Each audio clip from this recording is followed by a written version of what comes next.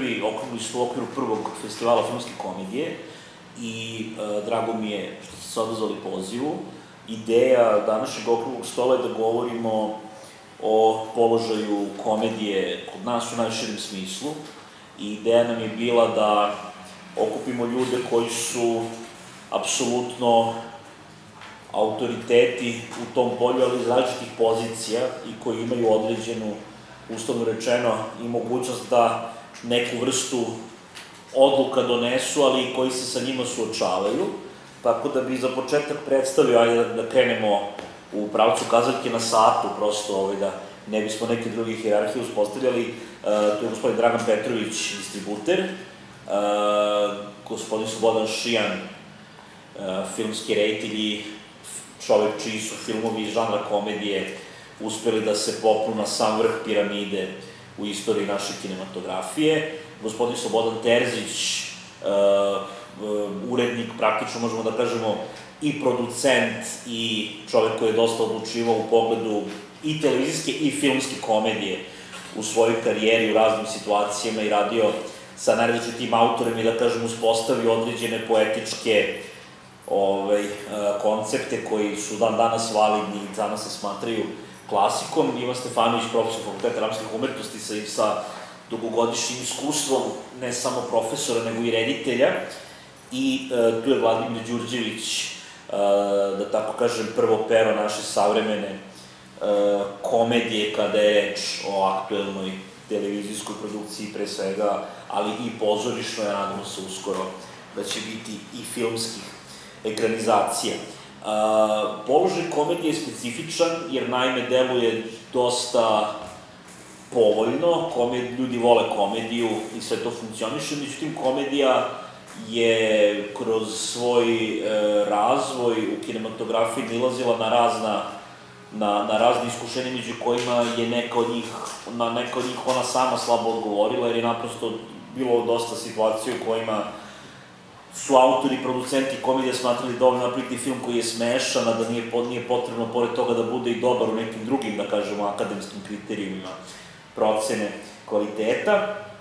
Ove, tako da je komedija onda vremenom došla u poziciju žanra prema kome kritičari, da tako kažem, imaju određenu predrasudu, prilaze im sa nipodoštavanjem, ne prilaze im, ajde da tako kažem, ne samo dovoljno ozbiljno, nego i dovoljno studiozno, nemaju pretrano mnogo strpljenja za to i uh, u pogledu nekakve nekakvog i industrijskog povezivanja i festivalske obrade i tako dalje, komedija je jedan od žanrova koji se nalazi u zapičku, iako na samom repertoaru i na televizijskom programu to nije slučaj. Međutim, činjenica da su kinematografijama kao što je naša, koje su dosta bazirane na javnom novcu, koje su dosta bazirane na raznim vidovima što ovaj, uh, regionalnog networkinga, što prosto E, zavisnosti od raznih, od raznih drugih faktora pored reakcije publike, ovaj, mislim da je vreme da se o komediji progovori upravo na tim, na tim raznim nivoima, jer je paradoksalno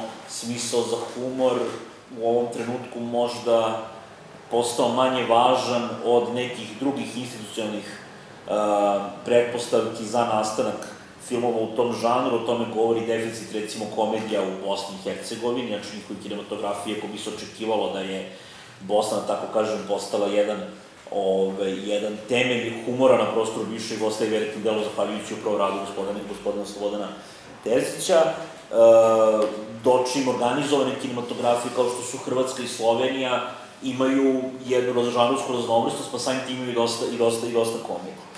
E, Hteo bih da počnemo od gospodina Šijana, on je radio uh, filmove u žanru komedije i oni su uspeli da pređu taj Rubikon i uđu zaista među klasike naše kinematografije. Uh, kako je bila pozicija komedije u trenutku kada ste počeli da radite te filmove i da li mislite da ste promenili poziciju komedije kao žanra kasnijim uspehom i priznanjem koji su ti filmovi stekli?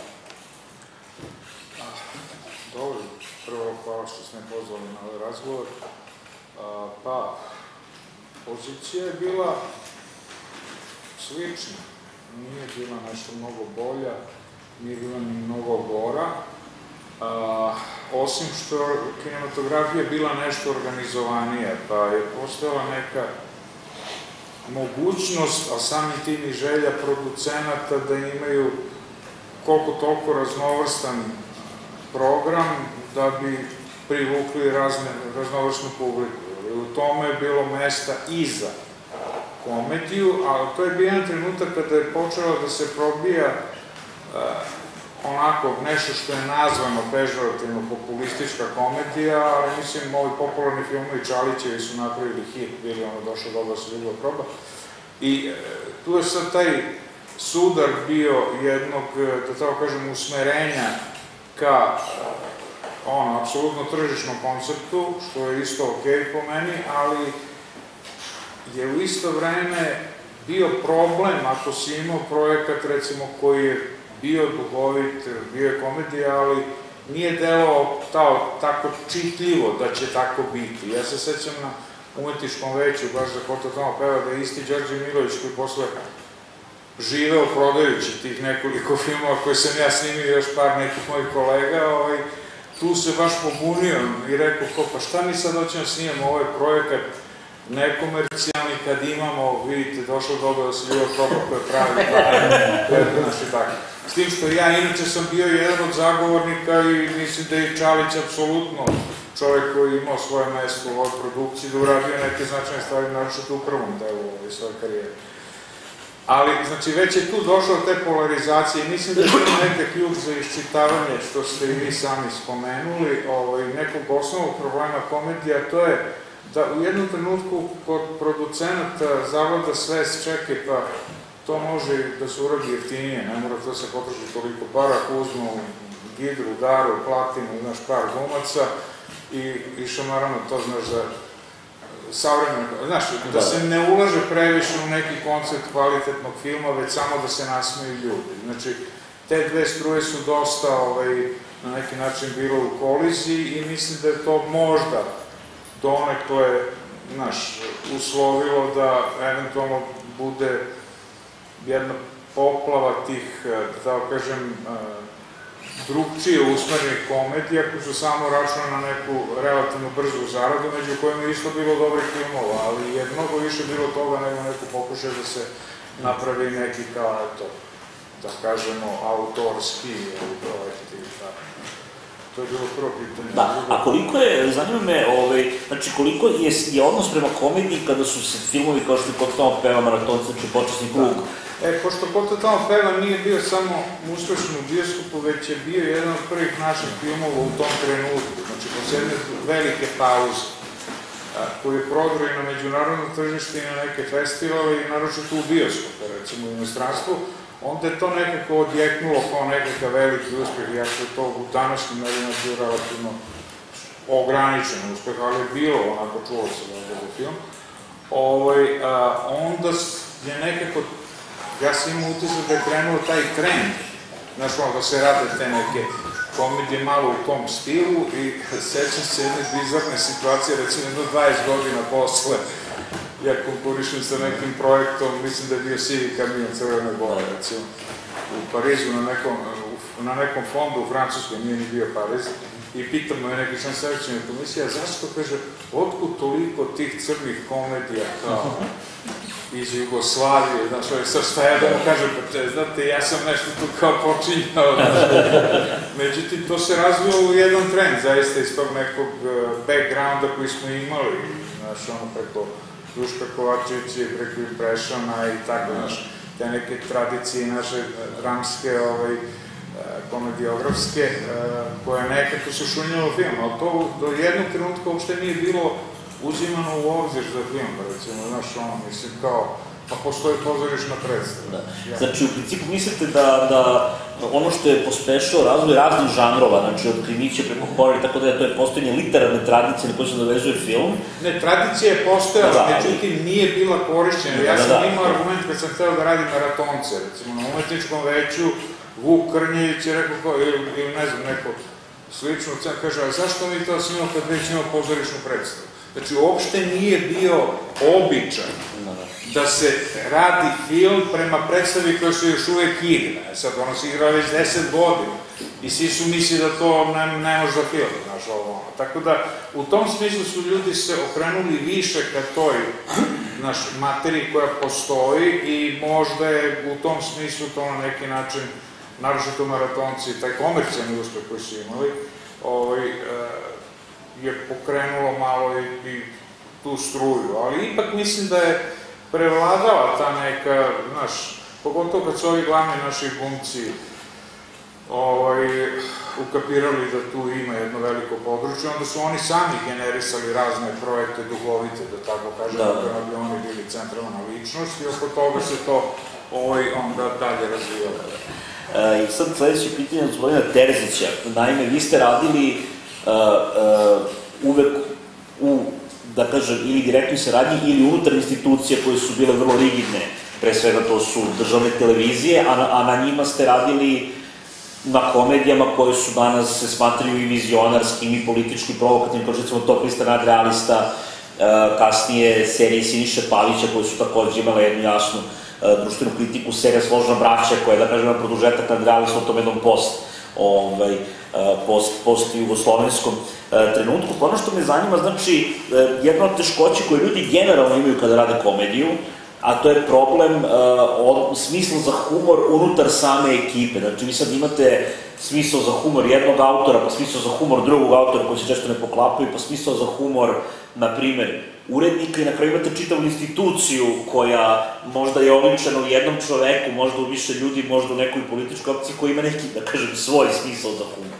Dakle, kakav je odnos to, uh, uh, hu, ono, tih, tih, ra, tih raznih pogleda na humor u jednoj tako delikatnoj situaciji? Televiziji, a kad ja govorim o televiziji, govorim uvek o ovoj takozvanoj javnoj Tako, ili ovaj, državnoj, ima jedan, jedna vrsta šizofrenog odnosa prema ovome što je komedija i nečega što je ovaj, duboko samo sebi protivrečeno. Recimo, u zadnjih godina, kad gledate u oči praznika nekih, to je e, otimanje o jedne te, te iste naslove iz ovog vremena, da, da kažem, zlatna, kad je Išijan i kad ove komedije snimljene, i već više ne znamo koliko puta sve te televizije emituju i ko to tamo peva, i tesna koža, i ne znam, ove čalićeve i tako dalje, a istovremeno a, n, e, nisu ništa u to uložile i iz ovoga što sad, što se okreće i što donosi rejtinge, što donosi određene prihode, ti ljudi koji su to pravili nemaju nikakav, e, nikakav e, udeo u tome, a nemaju praktično ni ti producenti, jer to je sve, sve vrlo jeftino. Međutim, s druge strane, televizija kod nas je postavljena bila uvek od početka da je to jedna institucija koja a, treba da a, s jedne strane informiše u smislu kako tom momentu vladajuća elita hoće društvo i s druge strane da proizvodi neke određene sadržaje koji su takvi kako su postavljeni. I, I onda kad e, dođe bilo kakva komedija u takvu kuću, ona je na prvi pogled subverzivna i drugačija. I recimo, mislim, kad se seti čovjek televizije Sarajevo iz tog vremena, a ona je e, sa tom top listom nadrealista koja je danas postala ne znam nijako da kažem, putno, ili to je sad popularno reći, putna neka serija, ona je se razvila na jedan neobičan način, jer to je počelo kao skečevi u, narodnim, u emisiji Narodne muzike. Znači, e, Topista nadrealista je bila nekakva radio emisija koja je u 84. godini zaslugom Erne Perić koja je vodila neku e, emisiju narodne muzike i onda je ona njih stavila i oni su imali nekoliko skečeva, to postalo jako popularno i a, bila emisija godine u svim nekim anketama. Iza toga se desi taj bizarni slučaj na koncertu u Rijeci gde je Nele kaže crkvo maršal i to zabrano. Posle nekoliko godina, dakle, 89. ja sam se družio s Neletom i sa tim svetom i znao sam koliko je on duhovit. I mene je zanimalo kako on jer je on i Đura su bili to postanadralisti, ovi ostali su uz to došli, a Nele je bio spiritus moments u smislu političkog određenja. I mene je zanimalo da to pokažemo da, na jedan drugačiji način. Jer ona je postavljena, na, sada vas ne gledam, na jednom prostom principu. S jedne strane to je parodija televizijskog programa, a s druge strane to je predviđanje budućnosti na osnovu Marfijeg zakona da će svi mogućnosti biti najgore. Da. Ili Kraljević Marko po drugi put među Srbima. To je Da. princip na kome, i kad vi pogledate te najbolje skečeve, jer to nije sve dobro, ali ima jedno, nekoliko skečeva, oni su to. I kad je počelo to 89. nije uopšte dobro bilo primljeno. Bile su 3-4 epizode koje su prošle, niko nije ni primetio, htjeli da skinu u televiziji. Do tog kritičnog momenta, to je znači ovde kongres poslednjih komunističke partije Jugoslavije, izlaze Slovenci i ona čuvena nasinkronizacija, ovaj, što je Nela opisao u svojoj knjizi, da tad ne, ne ponavljamo, koji sam ja pustio, jer je meni to toliko bilo smešno, ovaj, kad je onaj se pojavio u belom modelu da naplati, da oni da neće da plate, i sad je, ja sam bio glavni urednik umetničkog programa i mogao sam nešto da pustim. Takva stvar je morala ipak da se konsultuje s direktorom. A sam znao ako ga pitam da neće pustiti, odnosno reče daj da sačekam ovo ono. I ja sam onda rekao, ne, tu, ovaj, uzeo sam tu traku, potpisao, otišao kući, ključio telefon. Međutim, šta se desi? Sutradan odjedan puta se relaksira, svi jedan vide kao, pa nije sve propa, evo, nema te partije, nema ništa, nije tako strašno. I sad ću vam pričati jednu anegdotu. Posle nekoliko dana smo bili ovde u Beogradu, je bila premijera Kuduza. I onaj član predsjedništva, a, kako se zvao, Bogićević, je priredio neki prijem i mi smo došli, bio Ademir, bio Darvin Popović, bio ovaj Čustar, to što je upravnik, on bio glavni komis. I sad, kao on mene predstavlja, kao ovo je urednik te to pristanje adrealista, a ovaj neki iz Makedonije koji je bio šef partije, kaže meni, jer može sad na Slovence i na Hrvate da se ovo svake. Tako da, ovaj, nije to, to je uh, bio incident u televiziji, a ovaj, tako da je napravljeno nešto što prosto nije pripadalo televiziji i ne bi u tom, tom momentu je to tako ispalo i posle dve godine je bila ta posljednja serija koja je, mislim, e, nagovestila raspada, to je nastalo na principu da mi ovde ne možemo da se pobijemo. Ako se pobijemo, ja ću uzeti ovo pa ću udariti nekoga, nekog i Da, da. tako će da bude. Ja, ali niko nije verovao, ni, ja prvi nisam verovao da će da bude ovaj rat. Da sam se bude rat, bi odmah otišao. Nego smo čekali svi do zadnjih dana, jako smo rekli, ako bude rata, to će ovako izgledati. Ali, naravno, napravljeno na jedan način na koji je to nevena. Do- do- Doći mi televizija ova, e, RTS i televizija Beograd drugačiji, Siniša Pavić kao autor je neko, to je bio drugi. Dobro, da imamo, da imamo složnu braću među vremenu, Da. što je opet interesantna jedna opet druga stvar, jel? Pa s- složna braća je u stvari pokušaj da se napravi e, serija, a, ne na princip, to nije, nema veze sa to na Dragica, Da. nego Nele kao autor, je to napravljeno pre nego što je bio ovaj Dejtonski sporazum. Da. Interesantno je da, da su čak i neki datum se pogodili kad, je, kad će to biti potpisano i da će to biti, ne znam, tri države, u stvari dve, e, da, da ta slika sveta koja se kao preko tog, te televizije koju ovaj, gleda kao nekog CNN-a i tako dalje, to danas vidimo od Sirije do, do svega, do, od, ne znam, te međunarodne zajednice i sve te priče o odnosima Srba, Hrvata i muslimana, u tom momentu je to izgledalo onako, naročito u Sarajevu bilo dočekano na jedan način kao šta sad ovo, tek rat nije još ni završen, šta rade. Međutim, sad posle 20 godina, pošto se to emituje dosta često, se sasvim drugačija Da, da. recepcija svega toga. Pa zato što su svi likovi simpatični, u stvari, ne, ne postoji nikakva nacionalna podela po tome Pa, ko je simpatično, ko je I antipatično. je apsolutno, i da. i apsolutno je nepoverenje od, do ovoga preksinoć rejsa, to je dakle to uvek da on misli, a sve mi ćemo od njih prevariti na ovaj način. To prosto će da traje verovatno dokle ovde ima država i ovi narod. A kažite mi, vezano recimo za, za Belu lađu, koja je vrlo interesantna, ona je krenula praktično kao produžetak tesne kože, a onda se pretvorila u jednu kontinuiranu političku satiru koja zapravo e, e, problematizuje čak više, pošto među vremenu su se narodne partije na vlasti dosta menjale, pa to sad više nije tako jednostavno, ali koja zapravo dovodi u pitanje čitav politički sistem i nekako ta serija sve vreme ima jedan jedan oreol jednog onako kao popunog mainstreama, uopšte niko i ne reaguje na čini mi se da ono što u njoj se dešava je u stvari ozbiljno podkopavanje bilo kakvog poverenja u demokratiju. E, da, li, da li vam se čini da, da, da, da, da toj seriji možda nedostaje čak ta neka vrsta kontroverze koja bi okruživala? ja kad gledam uh, Belu lažu, ja nju gledam u kontinuitetu sa svim što je Siniša napravio. On je od, od, od tih velikih njegovih serija, recimo, uh, to sad sve izgleda kao jedan ironični odnos, kad uzmete bolji život, je govorio o kraju socijalističkog društva i uh, te zajedničke države i uh, slika neke porodice koja se raspada u tom momentu. Zatim ti srećni ljudi koji, evo ovaj Bata Žvojnić odigrao tu jednu sjajnu ulogu i ta porodica, e, pojava mafije, e, pojava e, tranzicije u društvu.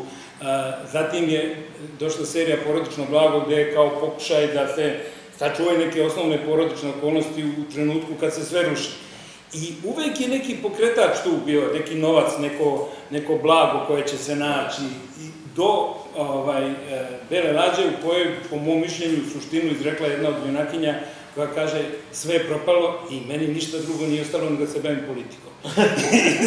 jer je to jedini način da se preživi, jer, jer ovaj, su ljudi sve probali i ništa nije uspelo i sad je došlo na to. E, sad, e, je on tu ličnost koja je bila mali socijalistički direktor u filmovima Tesna koža i Finša je u stvari hteo da da napravi scenarij bio za film, pa je međutim došlo do, nije moglo da se radi više film i onda smo hteli da, da imamo televizijsku seriju koja je imala od početka veliki problem što je drugi pol toga, to je bio ovaj Pantić, Nikola da. Simić je trebao, pa nije, pa je onda ovaj, e, težište serije pomereno celo na, na ovoga Šojića. Međutim, vi tako pogledate, to je čovjek koji nema nijednu pozitivnu osobinu koji sve najgore osobine svih ovih ljudi kod nas koji postoje, a istovremeno je simpatičan. Da, to je ovako nešto što je zasluga ne samo Siniša, nego i tog e, glumca koji je to da, stvarno majstralno odigrao.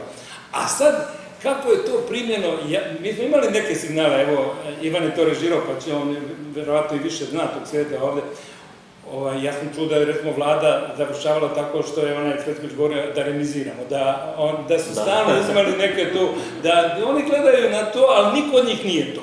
Da, da, da. To je, dakle, jeste to slika politike i političara, ali mi nismo ti. Da, da. I to je sve tako, ali mi ne učestvujemo. Da. Tako, u stvari, možemo da kažemo da od situacije u kojoj je sistem bio pokušavao da bude stabilan, u kome je bilo osetljivo pustiti nešto, smo došli do situacije u kojoj je nešto vrhunski mainstream, iako sve, sve vreme podkopava, podkopava zapravo iz taj sistem, u stvari da je, to, da je došlo do neke prom, promene suštinske. Ja, ja mislim da sistem tamo tebe ruši, da je to drugo ništa mu nije toliko opasno kao što je on sam sebi.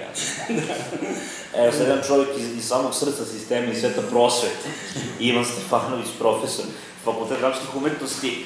Ivane, 25 godina praktično iskustva od upisivanja fakulteta do danas i mesta profesora. E, Fakultet dramskih umetnosti je uvek važio za izvor između ostalih stvari, dobro, naravno, pored školovanja kadrova za, u nas, našu kinematografiju, važio je za izvor jako kvalitetnog i novog humora. Međutim, poslednjih godina komedija kao da je presušila fakultetu. Šta se desi? Jeste, to isto. To je bilo zanimljivo. Ja sam, kad sam me zvao, baš počeo da razmišljam o tome da mi poslednjih Pa sigurno 10 godina uopšte ne pravimo komedije, to jest da studenti sami ne, ne biraju komedije. Da bude jasno svima, studenti sami biraju svoje scenarije, nikad ne nameće nikakve teme, međutim iz nekog razloga, ili uopšte, pošto su postali svesni situacije gde, koji žive, oni zaista se bave temama vrlo ozbiljnim o društvu, o odrastanju, ali o društvu i tako dalje. Međutim, iz nekog razloga niko ni ne pokušava da to ispriča kroz komediju. Tako da smo došli u situaciju da što komedije više nema. Da. E sad, ne možemo samo studente režije, ja pošto ja predam na filmskoj režiji, to nekako je sprega između dramaturgije i režije, to nešto što bi trebalo da proradi, jer ipak su iza svih reditelja stali neki scenaristi i dra, dramski pisci koji su imali te komedije. E sad, tu nešto ne funkcioniše. Ja ne znam da li studenti dramaturgije pišu te komedije, pa posle nekako, ali jednostavno se niko Da. Ali, ali jedna zanimljiva stvar, znači, ljudi se školuju na fakultetu da budu filmski i televizijski editor.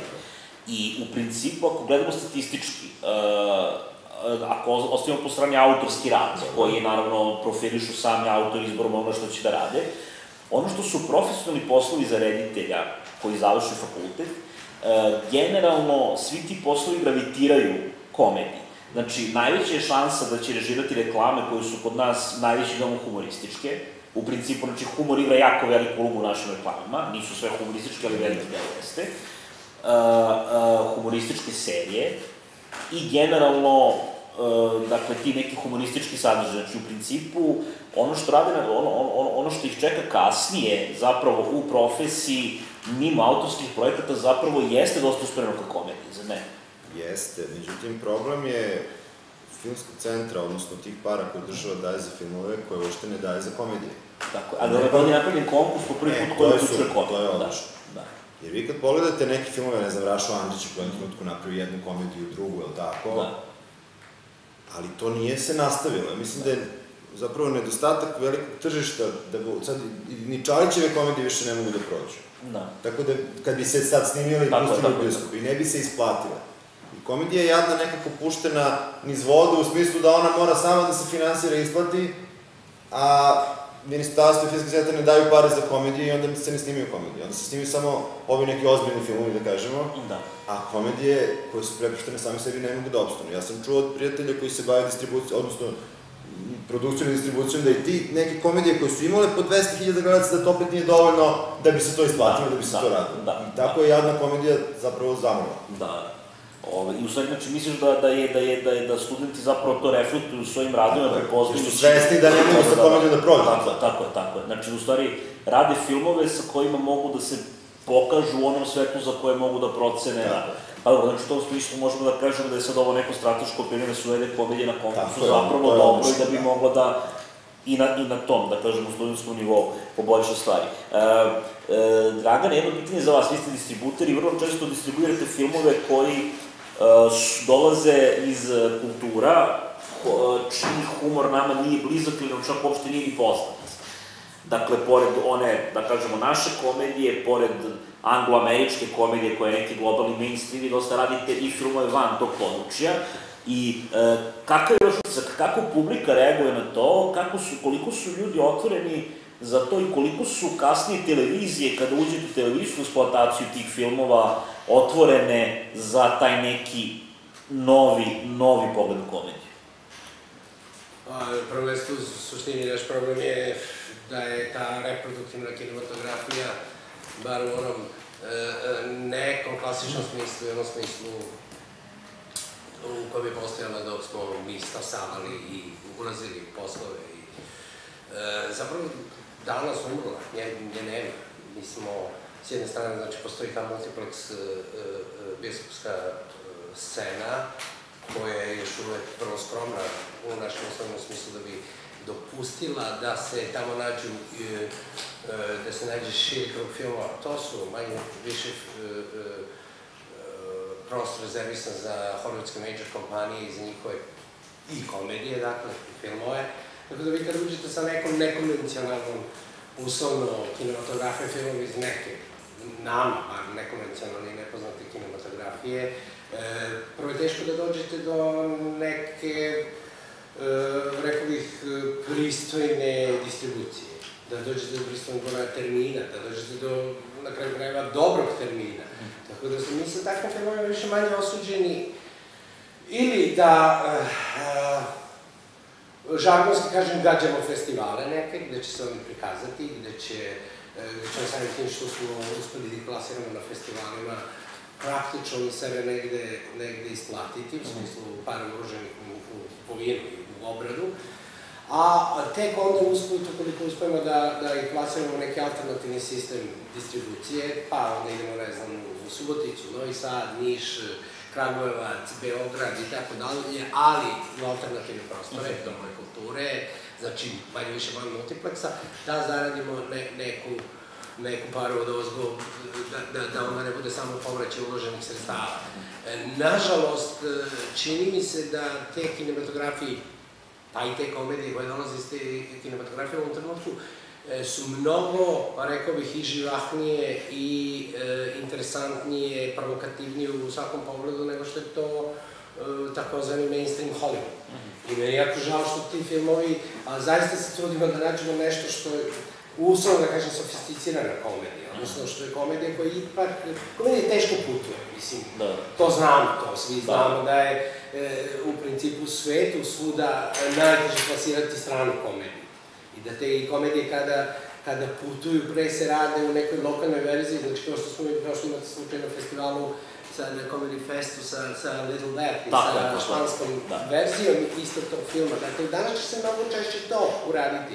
Kupit će se format praktično, kupit će se i, taj neki e, izvorni scenarij i on će se prilagoditi lokalnom tržištu i takva onda komedija će mnogo lakše naći publiku tamo gde se... A koliko su televizije otvorene prema tim, prema komedijama van toga? Te- Televizija, danas je toliko zapravo televizija guta program, da vi imate, vi imate na kraju krajeva specijalizovane kanale, pogledajmo Pinkove kanale, vi imate kanali komedije, kanal World Cinema, kanal svega, znači, e, teško će se naći, ali sve manje prostora, na komercijalnim televizijama sve manje prostora za, pa evo, šta, od srpskih televizija samo B92, ja mislim ima redovan termin za film, jer su na kraju ba- bazirani tako, sad više oni nemaju produkciju nikakvu, praktično, i jedina, jedina od komercijalnih televizija koja, koja ima e, prostor za film. Ja radim s njima godinama, znam tačno šta hoće. To je akcija i, i to je to, zato što po njihovom e, e, mišljenju, a i to prodavaju ti rejtizi, e, to najbolje radi. Sad ja, iskreno kažem, nisam siguran da, da se proba sa nečim drugim, da se uspostavi e, e, e, ovaj termin e, na koji će publika navići, da će se ponuditi nešto drugo. Ja prilično sam ubeđen da bi ta publika se stvorila vremenom. Ali, očito, zakon novca nego nema vremena da čeka i u tom smislu je potreba da se što pre, da se što pre ovaj, te pare e, nekako zarade. Tako? Tako da u tom smislu nemamo problem da plasiramo te filmove na televiziju, ali imamo problem da ih plasiramo na velikim nacionalnim televizijama i na, i na ne, u nekim terminima koji bi odgovarali. A s druge strane, opet moram, moram da priznam da imamo mnogo pozitivne iskustva recimo u, u Sloveniji i u Hrvatskoj, pogotovo u Hrvatskoj, koji su vrlo otvoreni i komercijalne televizije za takvu, takvu vrstu filmova, dok ovde ja se ne sjećam da nam se desilo, ne, ne znam kad je posljednji put bilo da je komercijalna nacionalna televizija uopšte posegnula za nečim što je neamerički, Da. neamerički film. Ali, s druge strane, znate, vi kad uzmete i, i e, malo pre ovo pomenu, sam i tu malu digresiju napravio, e, e, vi ste upravo sada govorili o tom nedostatku komedije ovaj, među mladim ljudima. A, vrlo je, to je, to je e, vrlo interesantna stvar, verovatno zato što ti mladi ljudi kada dođu da studiraju tu neku filmsku i televizijsku režiju, ili, e, njima je očigledno akcenat na to filmska. A e, televizijski, danas bi mnogo više posla imali u suštini da se bave komedijom, jel? Jer je komedija najzahvalniji, najzahvalniji žanr za, za rejtinge televizijski. Tako da, ne znam, očigledno da, da je potrebno nekako drugačije, ovaj, što ovde treba promeniti na kraju kraja, svi to znamo, jel? Vladi, da- izvini, ne, do, doći ćeš sad za gospodina Terzića se nametnulo jedno pitanje koje je Dragan pomenuo, ovaj, pa mislim da se nadovežemo. E, vrlo zanimljiva stvar. E, Dragan je pomenuo remake komedija. Mi danas imamo u Srbiji, trenutno, znači danas 26. e, maja 2016. godine, imamo tri humorističke premijerne serije koje idu trenutno na našim kanalima. Od te tri humorističke premijerne serije, dve su po licenciji. Kako to tumačite? Šta se desilo to na našoj sceni da smo e, došli u situaciju da se serije svih žanrova, a u ovom konkretnom slučaju dve humorističke serije, ovaj, prave po licenciji? Pa ja mislim da je to pre svega duhovna lenjost, da televizije mesto da, da ulažu u pisce, u domaće stvaraoce i da i, ovaj, prave sami, on naj, najjednostavnije i najjeftinije kupiti. To je, ovaj, ja, ja recimo kao gledalac bi gledao špansku seriju kao špansku seriju, ne treba mi da bude sad prevedena na srpski i da igraju srpski glumci ili bilo koju drugu. A isto tako verujem da, da postoje e, pisci koji su sposobni da napišu dobru komediju koja oslikava naše vreme, naše probleme i da to će sigurno da ima i veće rejtinge i da bude više gledano što pokazuju na kraj krajeva serije i filmovi koje su rađene po originalu. Ali to je verovatno uh, jeftinije. Naš, našli su nešto što je ovaj, e, scenario ili taj format, kako se to već sve zove, oni to kupe za neke male pare i onda Ja ne, ne vidim u čemu je smisao, recimo... A kako je, recimo, kakav je odnos između rejtinga serije po, da kažem, originalnom našem tekstu i serije po licencu? Pa svaka repriza domaće serije ima veći rejting od premijera ovih Aha, licenca. aha. To je, ovaj, jedna draga Samo da ubacim, pa evo i recimo Luzbun je normalan ima mnogo veće rejtinge nego što su zapravo i formati. Da, da, da. Dobro, ali za standardne televizije koje puštaju te formate, to je nadprosječan rating. Znači ne mogu se To je da, naravno, ne ali mogu se kvaliti sa RTS. uh, Sinđelić Da. i, i ovo, uz Anđelina. Anđelka Da, i... Anđelka i To za Andrija. standardne televizije na koje se prikazuju ima daleko veći rating I- share nego što je ta televizija inače ima. Pa, ali da imaju Ima se- originalnu seriju, verovatno bi još veći rejting. Ja to ne znam, pošto ne Ne kaže, ali i znam je da normalno ima jače, a Stav, nije... stav čak- urednika i direktora da nemaju vremena da čekaju. Znači oni idu na proverene formate, čak ne mora biti ni jeftinije. Oni idu na proverene formate jer znaju da će dobiti 100-150 epizoda, a koji će se gledati od prve do poslednje. Jer je proveren format, kao što su se rane. Da. Ako uđu domaću produkciju, znači na, na našoj televiziji, uh, i ako posle šest epizoda, recimo, serija ne uspe, niko nema vremena tu seriju dalje da drži, a, a već je uložio njenu produkciju, uložio u, set, uložio u, u ekipu i tako dalje.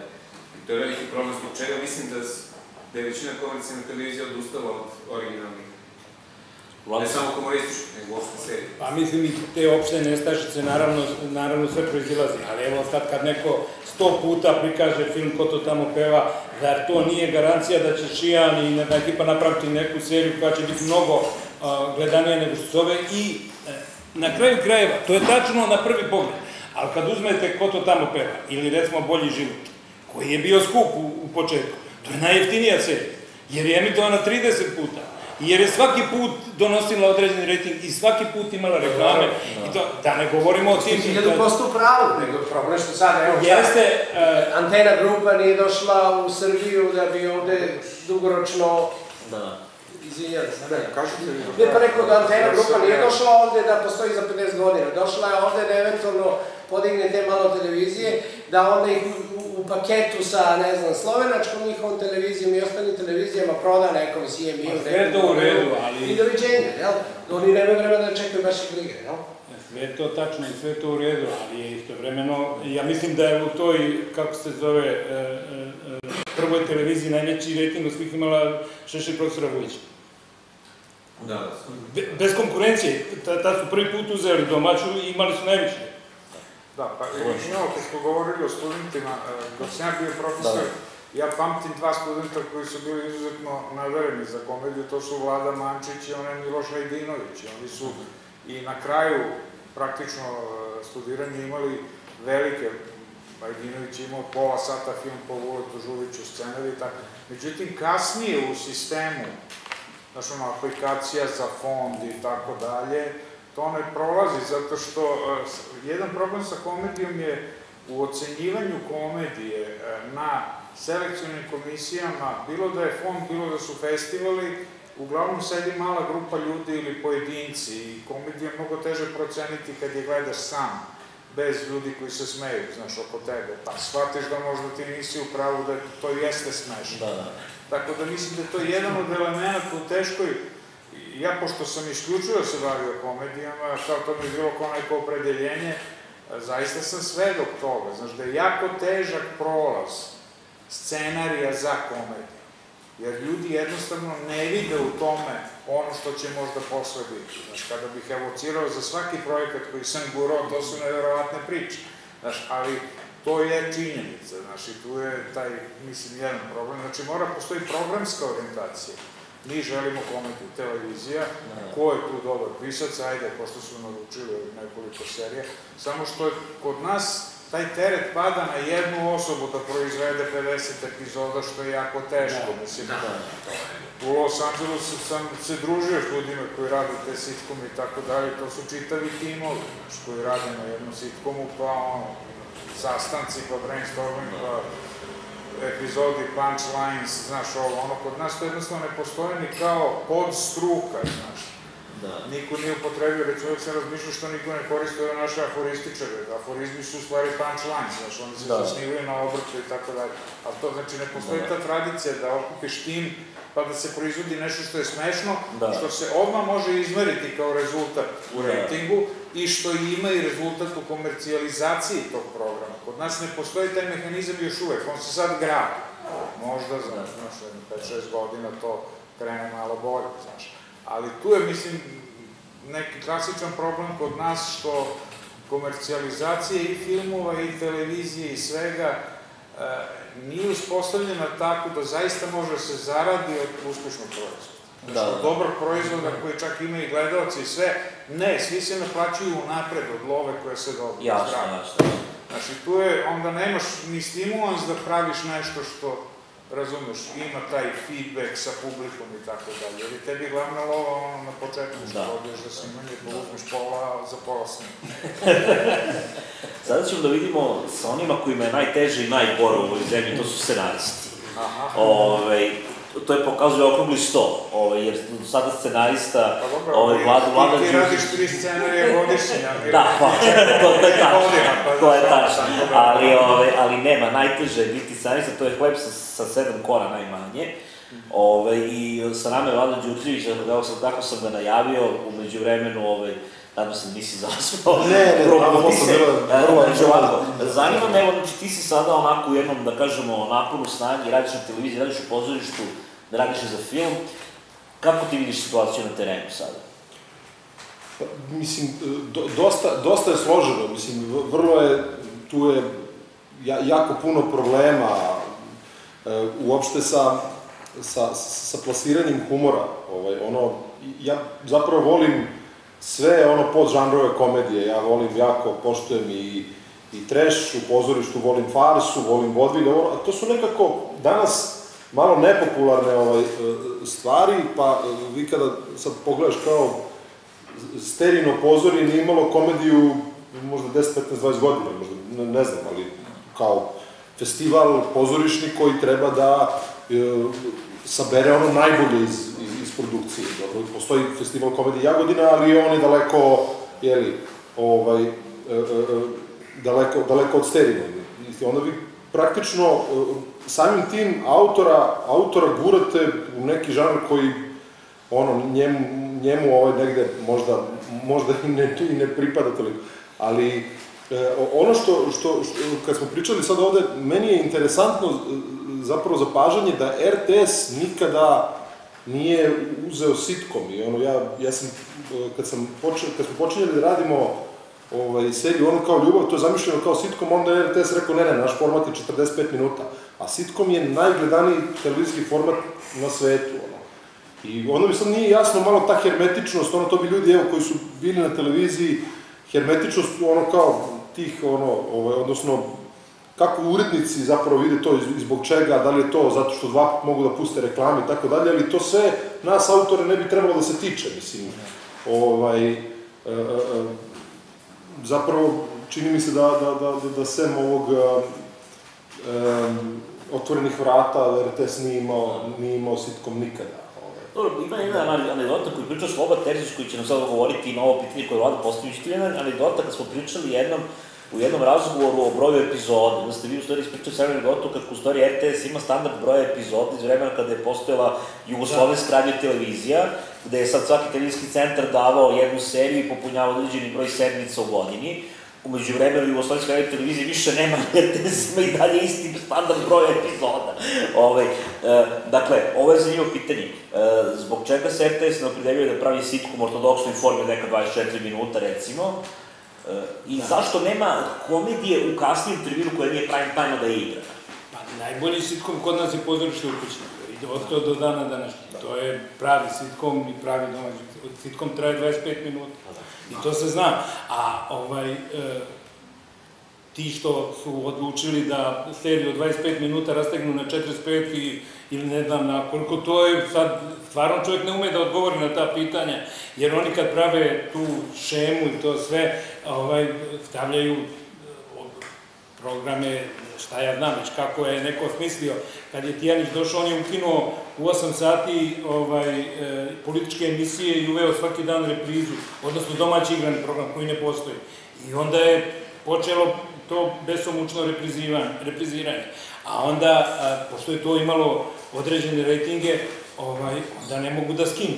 I, a, a pošto im je skupo da repriziraju, onda su počeli da pritišću autore da potpisuju ugovore za nove serije, da nema repriza, a ovim starim ugovorima da smanjuju ovaj, te honorare koji su predviđeni za reprize, jer niko nije računao da će neku seriju emitovati 10 ili ne znam, ne znam koliko puta, koliko se sad pojavljaju, jer to prosto ne, nema tih programa. E sad, e, to pozorište u kući koje, kažem, bilo, po mom mišljenju, najbolji domaći sitkom, nikad nije prešlo pola osam. Ono je bilo od pola sedam do sedam i petnaest, pa je onda crtani film. I e, sitkom u principu, znači, ne može da pređe taj prime time od 20 do 22. A onda se njima ne isplati to, e, da, da prave nešto što je ovaj, u, tom, u tom obliku, a da ide u neko vreme kad kao nije gledano. Bila je na, na Pinku sjajna, njihova najbolja serija, to je ono što je Rončević pisao, Ljubav, navika, panika, to je isto pravi sitkom. Znači, bilo je mogućnosti, videli su da je to uspešno, jer to je bilo jako uspešno, jer to se vidi tamo malo, malo pa emituju. Ovo podršte u kući, to ovo kao ljubav je moglo da bude, nisu dali time što su e, nekom, nekom intervencijom to sprečili da bude. Ali, mislim, to je pitanje ovih koji emituju program. Koji, koji odlučuju šta će da ide u kom momentu. U Hrvatskoj imaju dosta zanimljivo običaj, dobro, koji naravno nije čest, ali postoji, a to je da prave e, serije koje su sitkomi, znači u sitkom formatu, 24-5 minuta, e, kao što je recimo Nedelju jutru subotom naveče, Zakon i tako još neke serije koje, znači, su igrane serije, komedije su, ali ne idu u prime time. Idu u nekom late night terminu. Uh, šta mislite o tome i zbog čega to kod nas nije zaživalo? Jer mislim da bi tu sad bio dobar, dobar, dobar, uh, dobar ulaz za neke nove vidove komedije koji bi možda postali mainstream. Pa to je ovo što govorimo. Znači, da. ni, oni isto ne daju to od, od 20 do, do 22, nego idu pra, ono što oni zovu velikom igranom serijom, to možda ide od 8 do 9. Čak i one telenovele koje je Hrvatska pravila isto, i nikad nije prešla od 8 sati. Da, da. Uvijek su išli u, u tim terminima koji su do, do 15 do 7. To se, ja sad naravno ne bih mogo da... Ništa crno-bijeli svijet išlo.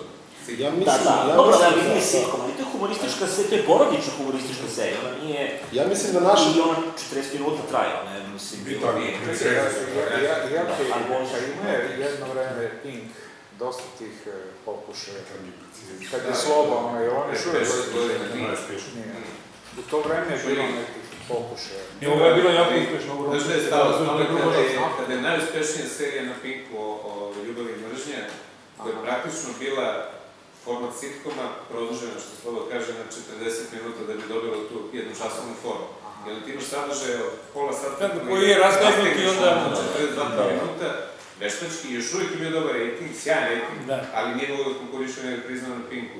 Da. I onda smo došli Gro, gro naših gledalaca nacionalnih televizijskih kanala idu da spavaju 10 sati. E, stravično pada zapravo še... Posle 10 sati uveče je.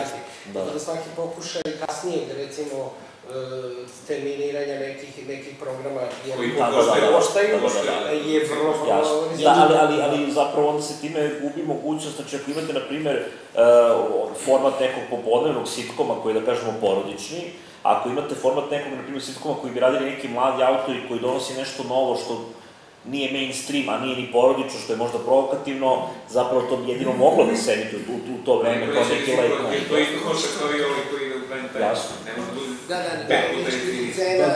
Problem je to što televizije toliko malo para imaju da ono što snime, oni snimaju samo za prime time. Prosto nema prostora da se, da se popunjava uh, premijernim igranim programom, da se popunjavaju drugi termini koji, koji nisu toliko atraktivni. A kaži mi, ti sad kao scenarista, kako su tvoje iskustva generalno, znači, uh, u, sledeći, u sledećem, znači, uh, koliki prostor imaš uh, i kakva je proporcija između nekih stvari koje ti originalno osmišljavaš, nudiš i što je, da kažem, neki tvoj materijal koji si ti inicirao, u odnosu na materijal za koji te zovu da pišeš. Znači, da li više dobijaš poslove na nečemu što je već osmišljeno ili na nečemu što ti sam, što ti sam plasiraš?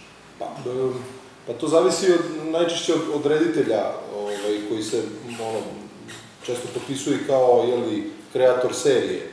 Ja mogu da samo da kažem da sam najveću slobodu imao u radu sa Slobom Šuljadićem, ovaj, sa kojim sam radio dva sitkoma, jedan je išao na televiziji Vojvodine, um, pomeri se s mesta, drugi je bio na Pinku Kuku Vasa i zaista tu sam imao punu slobodu da ovaj, e, e, e, i ono, on je imao jedan, ima jednu rečenicu koju on često govori, kaže, rej, ovaj, pisac šta je znao, on je to napisao, ostalo ćemo mi na setu. Ovaj. Tako da, to, to, to zavisi dok, ono, u saradnji sa nekim, ajde da kažemo, ovaj, drugi, drugim rediteljima, to onda bude druga, treća, četvrta verzija, ali bez obzira, ono, negde, iskren, iskren da budem, Uh, više su projekti birali mene. E pa to znači da, da. da. da, da a dobro, a, a, kako, a kako vidiš, e, kolika je zapravo objektivno zaista otvorenost naših, na primjer, televizija za projekat koji, na primjer, donosi pisac i ljudi? Kako, ka, da, da li zaista postoji prostor za ja, to? Ja nemam, ja nemam to iskustvo, ja verujem da to nemoguće da, ono, pisac dođe, zakuca na vrata urednika i kaže, evo, izvolite scenario i da to neko uzme i da snimi. To stvarno nikada tako nisam... Pa u tome je najveći problem, jer evo recimo to, ja se sećam tog vremena kad je dramski program televizije Beograd, sad se tu nije radilo o komedijama, ali gotovo tamo peva je bio od njih naručen. Razumiješ, kao dramski program. Znači oni su imali kad dođeš biblioteku otkupljenih scenarija za dramu. Da, da biblioteku i onda kaže biraj ili kaže mislim da ovo bi bilo za tebe zgodno ponudati jedan, dva, tri scenarija pročitaš. Znači, to su scenarije koje su oni naručivali tako što bi pozvali poznate pisce, među kojima uopšte nije moralo da bude ljudi koji su vešti u pisanju dramskog teksta ili scenarija. Ne, oni jednostavno imaju taj neki svoj izvorni, autorski materijal koji mogu da pretoče na neki način. I to je bilo sjajno. Znaš, ti stvarno dođeš i suočiš se sa veoma različitim svetovima, zavisno od svakog individualnog autora, znaš, to je pravi put i prava vrsta postupka za nešto. Ali, nažalost, to se izgubilo. Se između televizije, to je pitanje za tebe. Da li je tebi nekad uđeno da tih ranih filmova praviš miniserije? Mm, pa, Jer to je koji je danas Dimitrije ovo jako u modi. Znači, ako televizija ulazi u projekat filmski, da. ona zahteva i recimo miniseriju. E sad, meni su na RTS-u rekli da njih miniserije više ne zanimaju. To da, film. Da, RTS samo znači, film. Ja sam morao i Montevideo, Montevideo je malo... To nije miniserija, to je serija. Ne, ja sam ovaj Sirki mali filmski uspeo da snimim kao mini specijal jer drugčije nisam mogao da dobijem paru. Ja sam bio planiran kao film i onda sam naknadno od toga sastavio film ali sam mogao da dobijem pare kad sam tražio kao dve epizode. Da. Znači, onda su dali nešto za novu godinu, malo više vode, onda smo tako sam... Dva dana imali, da. Pa da, imali su dva dana za novu godinu, znaš, a, a, film je inače bio podelan kao ono menjanje vlasti, pa onda sam ovo lako da podelim. Ali inače, nisam ja bio toliko tada zainteresovan za seriju, inače to je moglo. Znaš, ali nisam imao na RTS-u neko kao ukladljenje da mogu da se dogovorim tako ali sada znam da kao praktično kažu kao ne, to više ne zanima to deljenje filmova, dok ne dođe neki njihov autor, znači koji ima koren u RTS-u i pa nema problema. Gospodin Želješ, Pa, malo prije ste postavili pitanje, čudimo da gospodin Terzić nije na to odgovorio, na, naznačio zašto pitanje je bilo, zašto u Bosni i Hercegovini nema više humora. Jednostavno je odgovor iz srca humora, otišli su talentovani ljudi. To je praktično iz te, top liste nadrealista ostao je samo ovaj, Đozić Zenit koji je napravio jednu, jednu od tih pokušaja s ovim. Ali ja sam, ovaj, ja sam ljubitelj i samo analitičar filma i sad nametnu bi možda jednu ideju. u našoj zemlji se inače malo uči iz sporta, a mi imamo vrhunski trenere, vrhunske sportiste. Kad je gospodin Šijan recimo bio profesor, da je stoja ta dva najbolja asistenta, uh, ubacio u takozvani, ja bih nazvao umjetničko-pametni klaster mozgova. Pa, ajde ovo je za, za komediju. Da se pojave malte ne kao uh, klaster komedije i da se tako u ministarstvu dobije novac, za, jer ste vi sami po sebi brend. Znači, Zamislite samo reklamu koja ide u prime time, najnoviji, uh, najnoviji film Slobodno Mašijana. Ja sam poznat kao vrlo moćan. da... Vi da ste moćni, ja to ne bih govorio u uzimam tom pare. smislu. Ali kad, kad bi se takvim putem išlo, čini mi se da bi recimo na vaše ime i na pokazivanje legendarnih scena iz samo ova dva filma, da bi to već recimo u Srbiji bilo 100.000 gledalaca.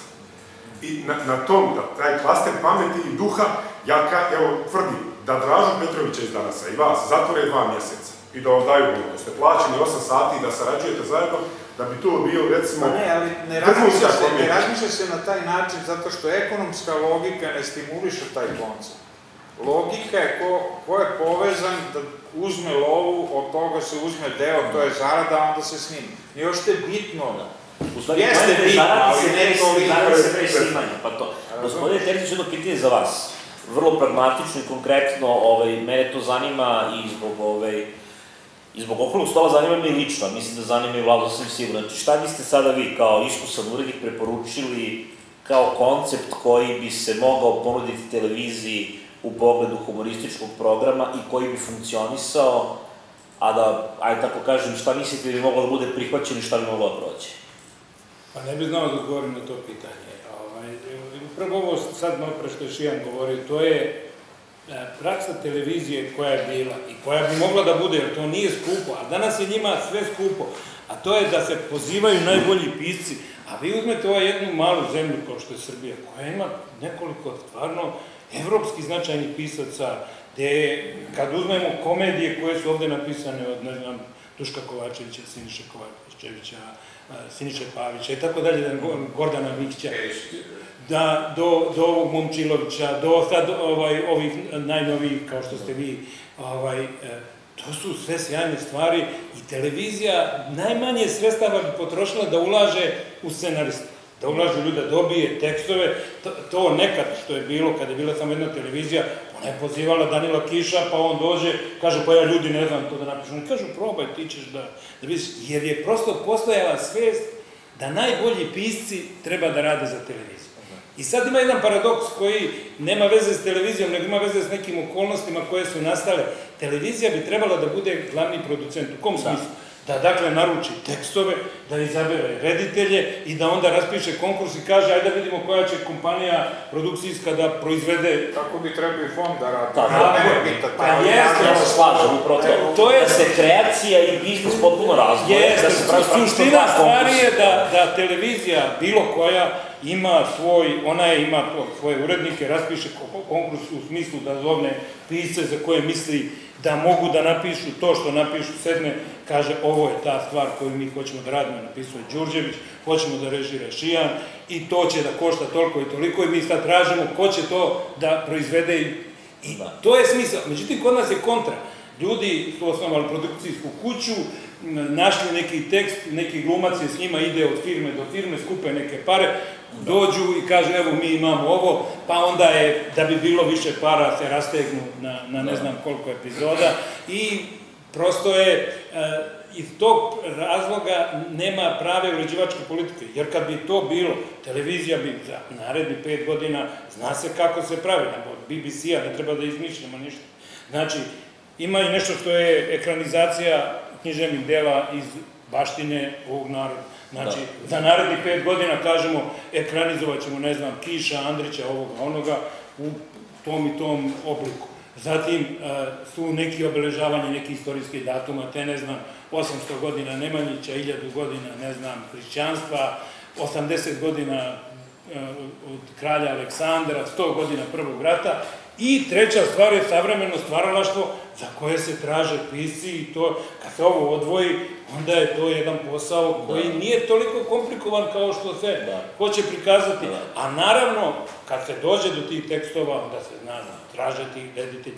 Danas kad u cijelom svetu se kaže, naročito naravno u Americi, jer tamo je to ponovo počelo, da je zlatno doba televizijskih serija, mi koji gledamo televiziju i pratimo, sad uzmete HBO i bilo koji Da. od tih kanala, vi vidite koliko je to prvo serija i kakve su to serije. I dakle, čak je sa filma prešle su glavne teme na televiziju. Veliki autori su počeli da rade za televiziju zato što na televiziji može da se ispriča ono što ne može na filmu. Da, I prosto je danas televizija, odnosno, nije mora samo ni televizija da bude, nego prosto Netflix, ovo je live stream, oni napravili na takvim... Mislim da je, da je ovaj, što sam radio, naravno i na filmu i na televiziji, dugo godina sam radio u partnerskom centru, mislim da je problem što kod nas, kao i sve u Srba, svi vuku na svoju stranu. I onda imamo taj problem da je jako malo para, generalno za film, za televiziju, uopšte za, za umetnost, kao što znamo, budžet sve manje, on ne može da dobaci do 1% ovaj, ukupnog budžeta, a, a svako uče na svoju stranu i svi bi hteli da otima jedni od drugih. I umesto da se dogovore, recimo Havc ima uh, po zakonu o Hrvatskoj televiziji su obavezne da participiraju u filmovima, ali zbog toga u Havcu, u upravnom odboru sede ljudi sa televizije i sa javnog servisa, znači sa HRT i sa komercijalnim televizijom Nova i RTL. I onda oni sami biraju koji će projekte da, da podržavaju. Znači oni daju pare za kinematografiju, ali direktno učestvuju u uđeošnoj Naravno, politici. A ovde, što Šiki reče, na svi bi ono da, da zarade pare pre, pre bilo kakva snimanja Da, da. i nikoga ne interesuje stupi na bilo čega. Ali- ali- a, traži se od televizije i dalje, znači Da. traži se RRA i televizija treba bude jedini praktično. Ali, ali, ali, se, ali se desilo ovo što je Šijan e, pomenuo i što je Sloba pomenuo, zapravo je došlo je do toga da u stvari su e, profesija producenta i profesija autora i na kraju krajeva profesija nekog decision makera među finansijerima, to se za sad sve preplelo i u stvari to je jako veliki problem u tome što kreaciju diktira nečiji producentski interes, umesto da kreaciju diktira interes finansijera, kao što je javni servis, i interes autora.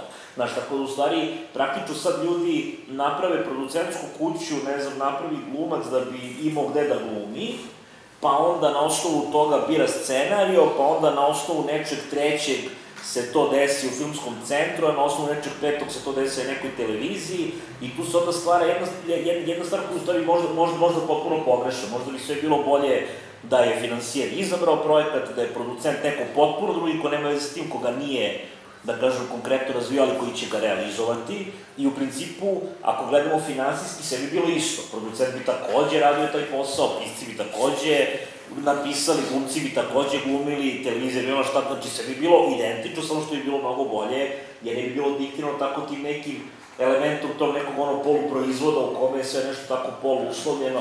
Znaš, mislim, i, i, i, i to je dovelo do smrti zapravo u stvari e, profesije producenta. Mi zapravo imamo vrlo mali broj producenata kod nas koji nisu na neki način kreativno upleteni u film. Samo jedna rečenja, zato što se ne zarađuje od rezultata, nego od dogovora, znači, Da, da, da. se završava Ne, priča. ne, pa dobro, zarađivalo bi se ovako od dogovora kada bi se, ali kada bi se producenti bavili produkcijom. Ovako, u stvari, imaš autora koji ne Možda je meni otvorio producenta, oči sam jedan postupak. američki producent, kog sam bio doveo pre 20 godina za, za neku produkciju, on je došao pronjuško, na, ima neko sastanak, kaže, ja ovde ne mogu da radim, zašto? I onda tu rečenicu, pa kaže, ovde se svi naplaćuju napred. A mi snijamo film i investiramo da bi od njega zaradili. Da. Tako da kaže, za ovde nema, za mene uopšte prostora. Ali e, baš kad pričamo, baš kad pričamo o tom, o, o, o, o, zaradi, vrlo je, vrlo je paradoksalno da, da, da niko iz možda filmskog centra, evo, do sada, nije prepoznao to da su upravo komedije ostvarile najbolji rezultat u bioskopima. Mali Budo je 370.000 beše, jel? Gorčivo preko 300.000, pa svojevremeno Parada. Munje, Munje, pa Parada, pa to, to je prebacilo preko pola miliona. Preko pola miliona, to su filmovi koji su zaradili novac, a ono kao Preko Pričamo- Pričamo... jako dobro, ali upravo je, upravo je pojenta ta da ljudi koji, koji finansiraju kinematografiju, odnosno koji odlučuju o projektima, nemaju veze sa bioskopom. Znači, kod nas kinematografija, odnosno reproduktivni bioskopi i distributere domaći u životu održavaju filmovi koji nisu podržani na konkursu. A filmovi koji jesu podržani na konkursu, ne gleda, njih ne gleda niko. Da. Njih ima jako puno. Da. To je taj paradoks. Ali to je sve vezano za Šikijevo, za Ali, ali Pašinjevo. je taj paradoks interesantan zato što mi možemo da kažemo, ako bismo gledali formalno, da kažemo, dobro, Film centar Srbije podržava filmove koje smatra da treba, na repertoaru dominira strani film, ovaj, ne moramo da podržavamo što je film koji ulaze u, koji ulaze u klinč sa stranim filmom na repertoaru, to može biti neki rezon kada ne bi bila potpuno obrnuta situacija, to je da je naš film i dalje gledaniji od stranog, da se mi time izrazito ponosimo i da mi na tome strašno insistiramo da je naš film gledaniji od stranog i da je pritom uh, Srbija jedna od retkih zemalja u kojoj još uvek film koji je, ajde da tako da se kolokvijalno izrazim, film koji je dobar, može da bude vrlo gledan, što je vrlo interesantno. Znači, mi imamo filmove za koje bismo mogli da kažemo da u sebi sadrže neke elemente koji nimalo nisu popularni, bilo na nivou značaja, bilo na nivou teme. E, filmovi poput recimo Parade, dobro, koja jeste komedija s popularnim glumcima, ali njena poruka je izrazito, ajde da tako kažem, protiva nekom mainstream situacije. Ili film pored mene Stevana Filipovića, koji čak nije ni komedija, znači koji čak nema ni tu neku populističku dimenziju koji je imao koliko, 80 gledalaca. Znači, mi imamo žarovski koji takođe znači nije poznat. je Molim? bitno. Molim? Ima žarovski obrazac. Ne, ima žarovski obrazac, da, da, ali, ali, znaš, ali, to da, kod nas na fondovima i tako Da, da. dalje. Ne, ne, pa znam, ali je film, ali je film izrazito socijalno angažovan. Kako U da filmu, u filmu je socijalno, socijalno angažovan u prvom planu i sad ti kažeš, aha, znači mi imamo kinematografiju u kojoj se angažovan film vrlo rado gleda, ovaj, a, a, a, a film Centar Srbije zapravo ne, ne prepoznaje sve do ove godine do uvođenja ovoga za komediju. Ma dobro, komedija je takođe širok, širok pojam, pazite, mislim, komedija može da bude i nekakav, jel, hermetičan film koji, koji nema gledanost. Uh, ono što mene sad zanima da se vratimo Ivanu, uh, uh, radio si Belu Lađu, ja imam jedan utisak vezan baš, baš za ove najskorije serije Siniše Pavlića, prime ako grešim, a to je da su tu, barem meni se čini, uh, tekstovi znatno interesantniji bili od krajnjih proizvoda, jer mislim da je rediteljski koncept bio dosta arhaičan. I da bi ti, da bi te serije da su rađene na neki, uslovno rečeno, moderniji način u pogledu kadriranja, veća broja pozicija kamere, možda neki drugačiji glumačkih podela i tako dalje, da bi one biti, bi, mo- mogle biti sa istim tim tekstom koji postoji mnogo, mnogo atraktivnije. Da li se ti, na primjer, slažeš sa tim? Da, ali to je Pavićeva serija. I ona je takva bila od uvek Da. i on je taj koji odlučuje o svemu zapravo. E pa to. To je njegov autorski značaj toliko veliki da je zapravo to je sve Pavićeva serija. Mi jesmo davali od sebe sve što smo mogli u tim okvirima, ali on je neko ko je navikao na tu vrstu svega i to je prosto tako Da, rađeno. da. Tu nije bilo prostora. Ono što Pitanje je da da je moderni, da bi bilo tako gledano. Tačno, to je- vrlo zanimljivo pitanje. Ja sam razmišljao, čak i da smo radili još jednostavnije, jedan kadar ovako, Lana Gutović, sve to isto radi, to bi možda bilo podjednako popularno. A da sam ja krenuo da režiram to sad nešto, možda ne, vrlo zanimljivo. Tako da, Pavić zaista ima tu neku sposobnost da pogodi to što Da, da, narod da. voli da gleda i mi ne A, ali da li misliš da je to dovelo od toga da Pavić zapravo sa tim poslednjim serijama, pošto Vruć vetar je recimo vrlo, da tako kažem, moderno režirana serija bila za, za vreme kada je izašla, tako, znači, Ali ona je zaista gledala kao film. snimak. Upravo to filmski snimana, da. tako je televizijski, upravo to ću, znači ona je filmski snimana i ona je vrlo moderno izgledala za to izgledala zaista kao neki film u, u, formi serije. Ovaj, da li misliš da je, da je takva, da kažemo, realizacija tih serija dovela do toga da Pavić danas, naročito među mlađim gledalcima, bude potcenjen pisac? Jer ja recimo, kada povremeno gledam ovaj, Belu lažu i razmišljam o tome šta se u toj seriji dešava, meni se čini da u njoj ima, iako je to već ono po, poz, pozno delo jednog već ono afirmisanog pista, gde sam dosta, njegov rukopis je karakterističan i znamo ga, ovaj, da, u njoj, da, da, da u njoj prosto ima nekog kvaliteta koji će pro, prosto ostati zauvek neprepoznat zbog tog jednog, da kažem, manje atraktivnog pakova. Ja se vraćam na sve Da, da, da. Ne, jasno da, da. serija Da, da, da. koju on kontrolisao i ja se ga nekad mogu složiti s tobom, Da, da, da. prosto to je... Da, da, da. Ali šta je primjer- njegova, Da, da. njegova moć je rasla Jasno. tokom decenija. Da. I kad sam ja već došao, tu više nije bilo govora. Ono što je zanimljivo, što svi misle Lani Gutović, Lani Gutović, Lani Gutović jednu re, reč nije promenio da nije zvao da pita, da nismo zvali da pitamo pisca. Da, da. Svi misle Lani dođe tamo improvizuje. To je sve Pavić, to je vrlo, Da, da. vrlo specifično. Da, da. A generalno, kakav je to odnos prema re, re, režiji komedije kod nas? Da li misliš da se one rade dobro ili misliš da bi trebalo da se rade drugačije, bolje? Znači, sad ne znam. Samo ja bih jednu rečenicu ovde, kad, je, kad su u pitanju televizijske stvari. Po mom mišljenju, je, u filmu je glavni čovek reditelj i to je, on je autor filma. A na televiziji, u televizijskoj seriji je glavni čovek pisac. Jer nije slučajno u Americi, sad je serija Sorkinova. Ne znamo ko je režirao. Da. Ili je režirao, ne znam, ovaj, e, Scorsese prvu epizodu, a posle je, ne znam, bilo je još deset reditelja, tamo je postavljeno. Dakle, u televizijskoj seriji je glavni čovek pisac i on je, on, Da. Siniša je, ja bih rekao, ko onaj, kako se zvao američki čuveni ovaj, autor serije što je imao svoju televiziju na kraju. Spelling. Spelling, Jeste, a je Alan Spelling, jeste. To, on je to, čovjek je napisao, ja mislim, 400 tih epizoda. Da. To, to sad kad uzmete, to je onako nešto neverovatno. I a, ono što e, sad je to što Siniša i njegov rukopis traži, to je jedan konvencionalan pristup. To kad biste režirali na jedan drugačiji način, to ne bi bilo šta serija. Bilo nešto drugo i ne znamo da li bi, Da, da, naravno. da li bi imalo A ima generalno se to efekat. oko režije, komedije u našim taj filmovima i u drugim da. serijama, da kažem, kako ti se ona čini? Da li misliš da, da, da je to sve onako u duhu savremenih Nije dobro. Da, e, da, e, Nije pa dobro. dobro. Jako malo ima komedija sad, a i ovo što se pojavljuje, meni se ne sviđa. Mislim, Ti si malo prepomenuo jednu, jednu vrlo interesantnu stvar kad si rekao da je vruć ve- vetar ili profesor to rekao da je to snimano filmski. A to je upravo danas svetski televizijski trend. Da, da. Kad pogledamo svetske blockbuster serije, to je apsolutno znači fi, ovaj, e, fi- filmski filmski jezik i to je možda negde odgovor na pitanje kako bi trebalo u kom bi pravcu trebalo se razvije, razvijaju televizijski formati i, u- i u Srbiji, ono, je- zato što Pa da, ali bioskop gubi... cena je faktor, Da. ogromna je razlika kad snimaš u sistemu, Jeste, Da, u da, jednom prostoru ala kafić ili se ra- razbaci ali realno su počeli, milion objekata i Da. sa jednom kamerom. Da, da. ali Mislim, realno to su nebo i zemlje. se sve manje snima u sistemu. Tako je, tako je, tako je, tako je, da, da, da. Čak i ove neki ti Sinđerića, mislim, sve snimaju s dve kamere, ne sa Tako je, ne u sistemu, Ne u sistemu, tako da u da, sistemu si zapravo skoro više. Te Pavićeve serije su ta televizijska režija klasična koja je zapravo izum, izumrla. Da, da, da. A, Nema ni hrabrog kapitala, izvinite, evo, samo da ima malo hrabrog kapitala, sami ste novi film, da onako kreće reklama, slobodno se Ima novi film, davitelji protiv davitelja u Beogradu. na Kako da se vrati te pare? Zavljeno, davitelji protiv davitelja u Beogradu na vodi. A znate koliko e, davitelj protiv davitelja Tomi. može da vrati para iz bioskopa?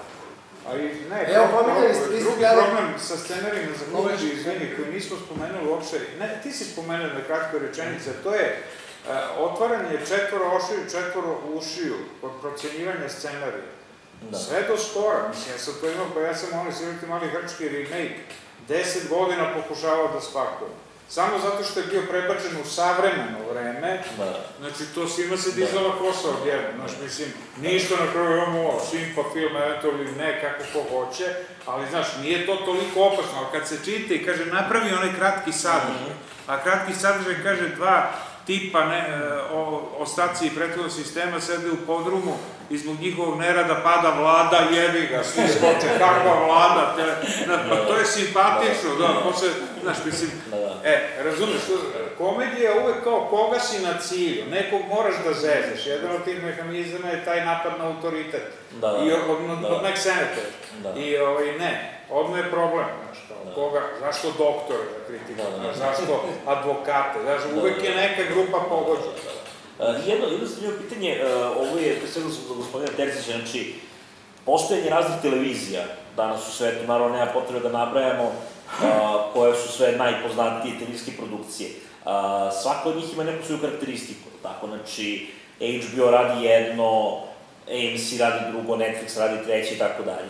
A, od tih kablovskih televizija, ove obične televizije, opet BBC radi jedno, NBC radi drugo, kod nas takođe postoji, postoji nekoliko televizija koji imaju svoj program.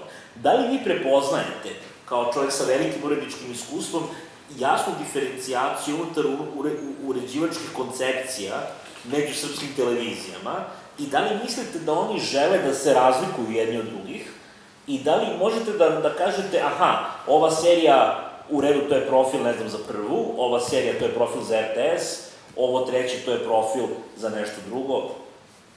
Pa Ja mislim ovo malo pre što rekao e, e, e, sa tim scenarijima, otkupljivanja scenarija svoje vremeno, da je jedna od najgorih stvari što se desila to je što je izgubljena važnost redakcije. Danas nije ništa važno šta misli redakcija umetničkog programa televizije Beograd i da li oni imaju ideju za neku seriju, za neku priču, jer izađe generalni direktor na, na dnevnik i kaže ja sam bio zapanjen kad sam čuo rečenicu. Kaže, snimam ovu seriju, a lako sam odlučio jer je najjeftinija. sad, je- sad, on to kaže, mrtav vlada, prvo on nikad u životu nije čitao te, da ja, mislim, niko od nas ne zna, da je on u životu se bavio time, da je čitao scenarija, da je odlučivao, da se snimi serija, i on sad kaže, ja sam lako odlučio, zato, to je serija komšija. Da, da. Kaže, ja sam lako odlučio zato što je to najjeftinije. I, znači, šta ta redakcija predstavlja? Šta sad to znači ta serija? A sad upravo, zašto go spominjem te komšije? Zato što je to ista autorska ekipa koja je bila prvo na Pinku sa takvom sličnom serijom, pa je prešla na prvu, pa je došla sad na RTS Da. I, i nosi isti koncept, istu seriju. Što znači da nema nikakve razlike hoće li serija Budva na pjenu od mora ili kako se već zvalo do komšija, to je znači od istog autorskog ekipe, sve samo su promenjene lokacije.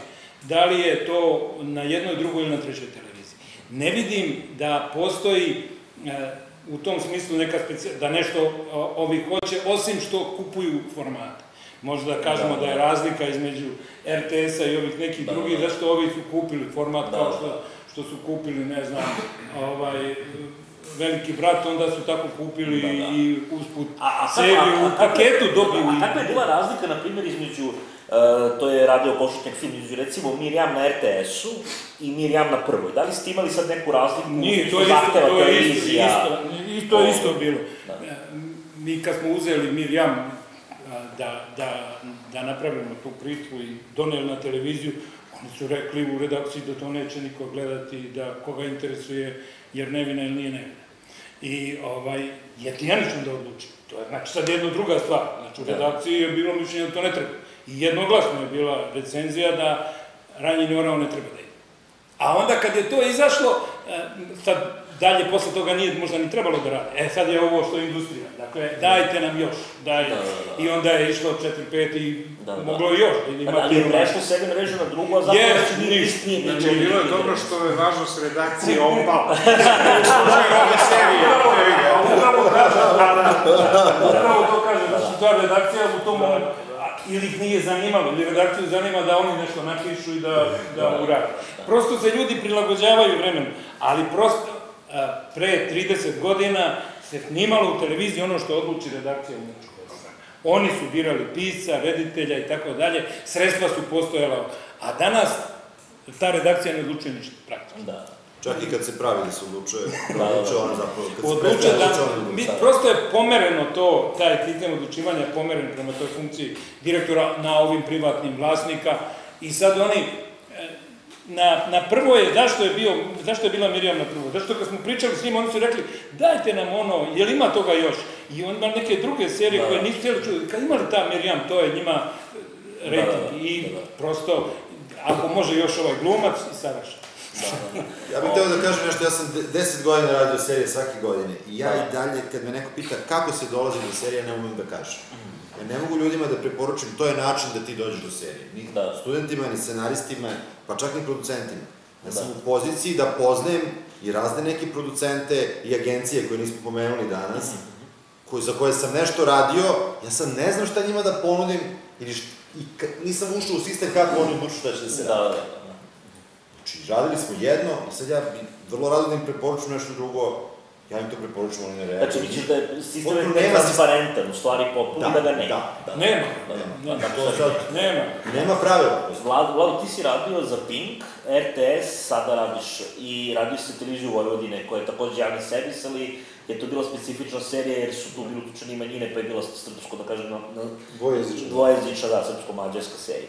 Ovaj, kaži mi, kakav je tvoj utisak, da li se nešto razlikuje između onoga što su bili, da kažem, neki zahtevi Pinka, RTS-a, televizije Vojvodine? Pa u poslednjih, ajde da kažem, mislim, od, od kad ja se bavim ovim poslom aktivno, 10 godina se gotovo ništa nije promenilo. Znači, ovaj, ja sam imao prošle godine i, dve televizijske drame na, na, na, na, na, na RTS-u i to je uvek bilo, ajde da kažemo, po pozivu, po pozivu urednika, ovaj, i to je nešto malo što to uredništvo na RTS-u još uvek može tri ili četiri televizijska filma od 45 minuta za ovaj neki jako, jako skroman budžet da izbaci onda to ljubomorno čuvaju da puste u prime time pred novu godinu iako je snimljeno šest meseci ranije. To je potpuno jedna onako ovaj, zabavna situacija tamo. Ovaj, ali e, mislim, prosto se ništa nije... Ja sam se nekako već i, od kad sam ja u poslu, poslu ovome, e, e, e, ja sam, ja sam navikao, ja sam zatekao situaciju da se uvek ide sve preko vlasnika televizije, odnosno generalnog direktora, tako da se me, u mojoj percepciji ništa nije promenilo. Da, da, jasno. Uh, jedno pitanje za Šike, jedno ovako isto veliki filmofil, naravno to svi znamo. Šta vam se novo dopada od komedija, generalno i generalno, ne mora da bude samo kod nas, može da bude i u svetu, koji rejting, koji filmovi, koji komičari, Pa, mislim, naravno, Woody Allena sam volao uvek tako da to i pratim od ovih novih.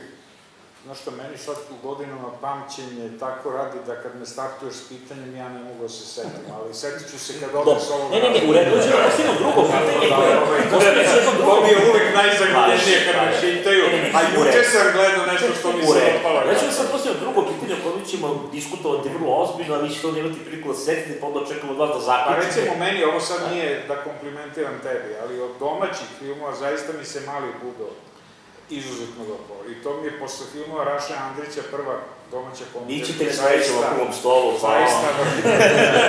Vi ćete li sledećem ja se pitam da li, da li su ljudi koji su čitali scenariju mogli da vide taj film.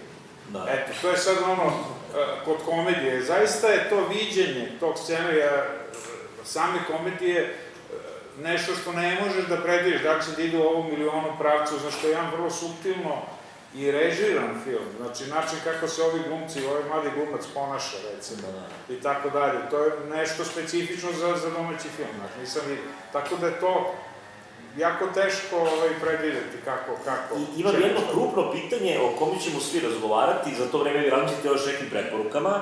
A, to je pitanje gospodina Petrovića. A, pojavio se Netflix i kod nas, i to nije jedini streaming servis koji je kod nas dostupan, u svetu naravno postoje i veliki konkurenti i tako dalje, i e, stvari se menjaju. Stvari se menjaju već praktično distributeri imaju tu situaciju da moraju da imaju neke ono holdbackove, da ne mogu da puštaju filmove na televiziji, na nekim sličnim servisima u nekom periodu i tako dalje. E, Stvari se u svetu menjaju na još radikalniji način zato što su ti streaming servisi postali producenti. Ove godine smo imali stvar bez presedana, to je da je Netflix praktično platio 90 miliona dolara za film novi film Vila Smita koji je bioskopska zvezda dan danas sa jednim odličnim skorom na blagajnama, dakle stvari su se potpuno promenile.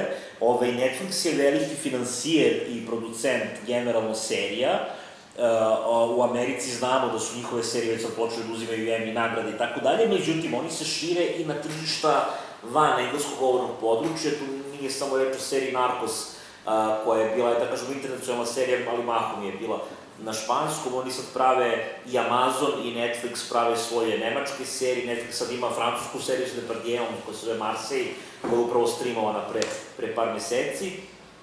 Uh, da li mislite uh, da će sad ti novi servisi promeniti situaciju na našoj sceni, da li mislite da će oni i za koliko mislite da će oni postati producenti i kod nas, dakle da li postoji perspektiva recimo e, da se razmišlja o recimo seriji koju bi Netflix koji već postoji kod nas možda finansirao i, i streamovao, i streamovao kod sebi kada bi to moglo da se desi po nekoj vašoj projekciji i uopšte generalno koliko su to YouTube, internet servisi e, na kojima ima dosta komedije, jer je, ja mislim, e, poslednjih godina po prvi put u istoriji internet konačno prestao da izgleda kao da je smišljen samo zbog pornografije, nego počne da je u stvari zapravo više zbog smeha. Mišljen, znači smeh je sad glavna, ključna reč na internetu, ove, i, i humoristička produkcija u raznim formama, od aforizama do e, karikatura, do onih mimova i svega toga je na internetu izuzetno intenzivna, tako?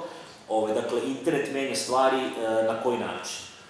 Pa na dramatičan očito, to nema šta. Ja, pogotovo, ovaj, eto, ja sam silom svog posla i zaista non stop na, na tim TV marketima i filmskim marketima i uvijek da razgovaram sa ljudima, evo, na posljednjem ovom e, televizijskom kanu u aprilu mesecu, to je bila opšta panika.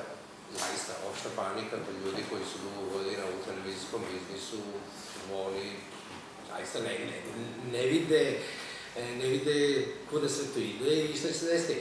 Što se tiče Netflixa, Netflix je još uvek, ono, nažalost, ne znam koliko, koliko su ljudi upoznati, to je još uvek jedan bubble, što bi rekli, je li to?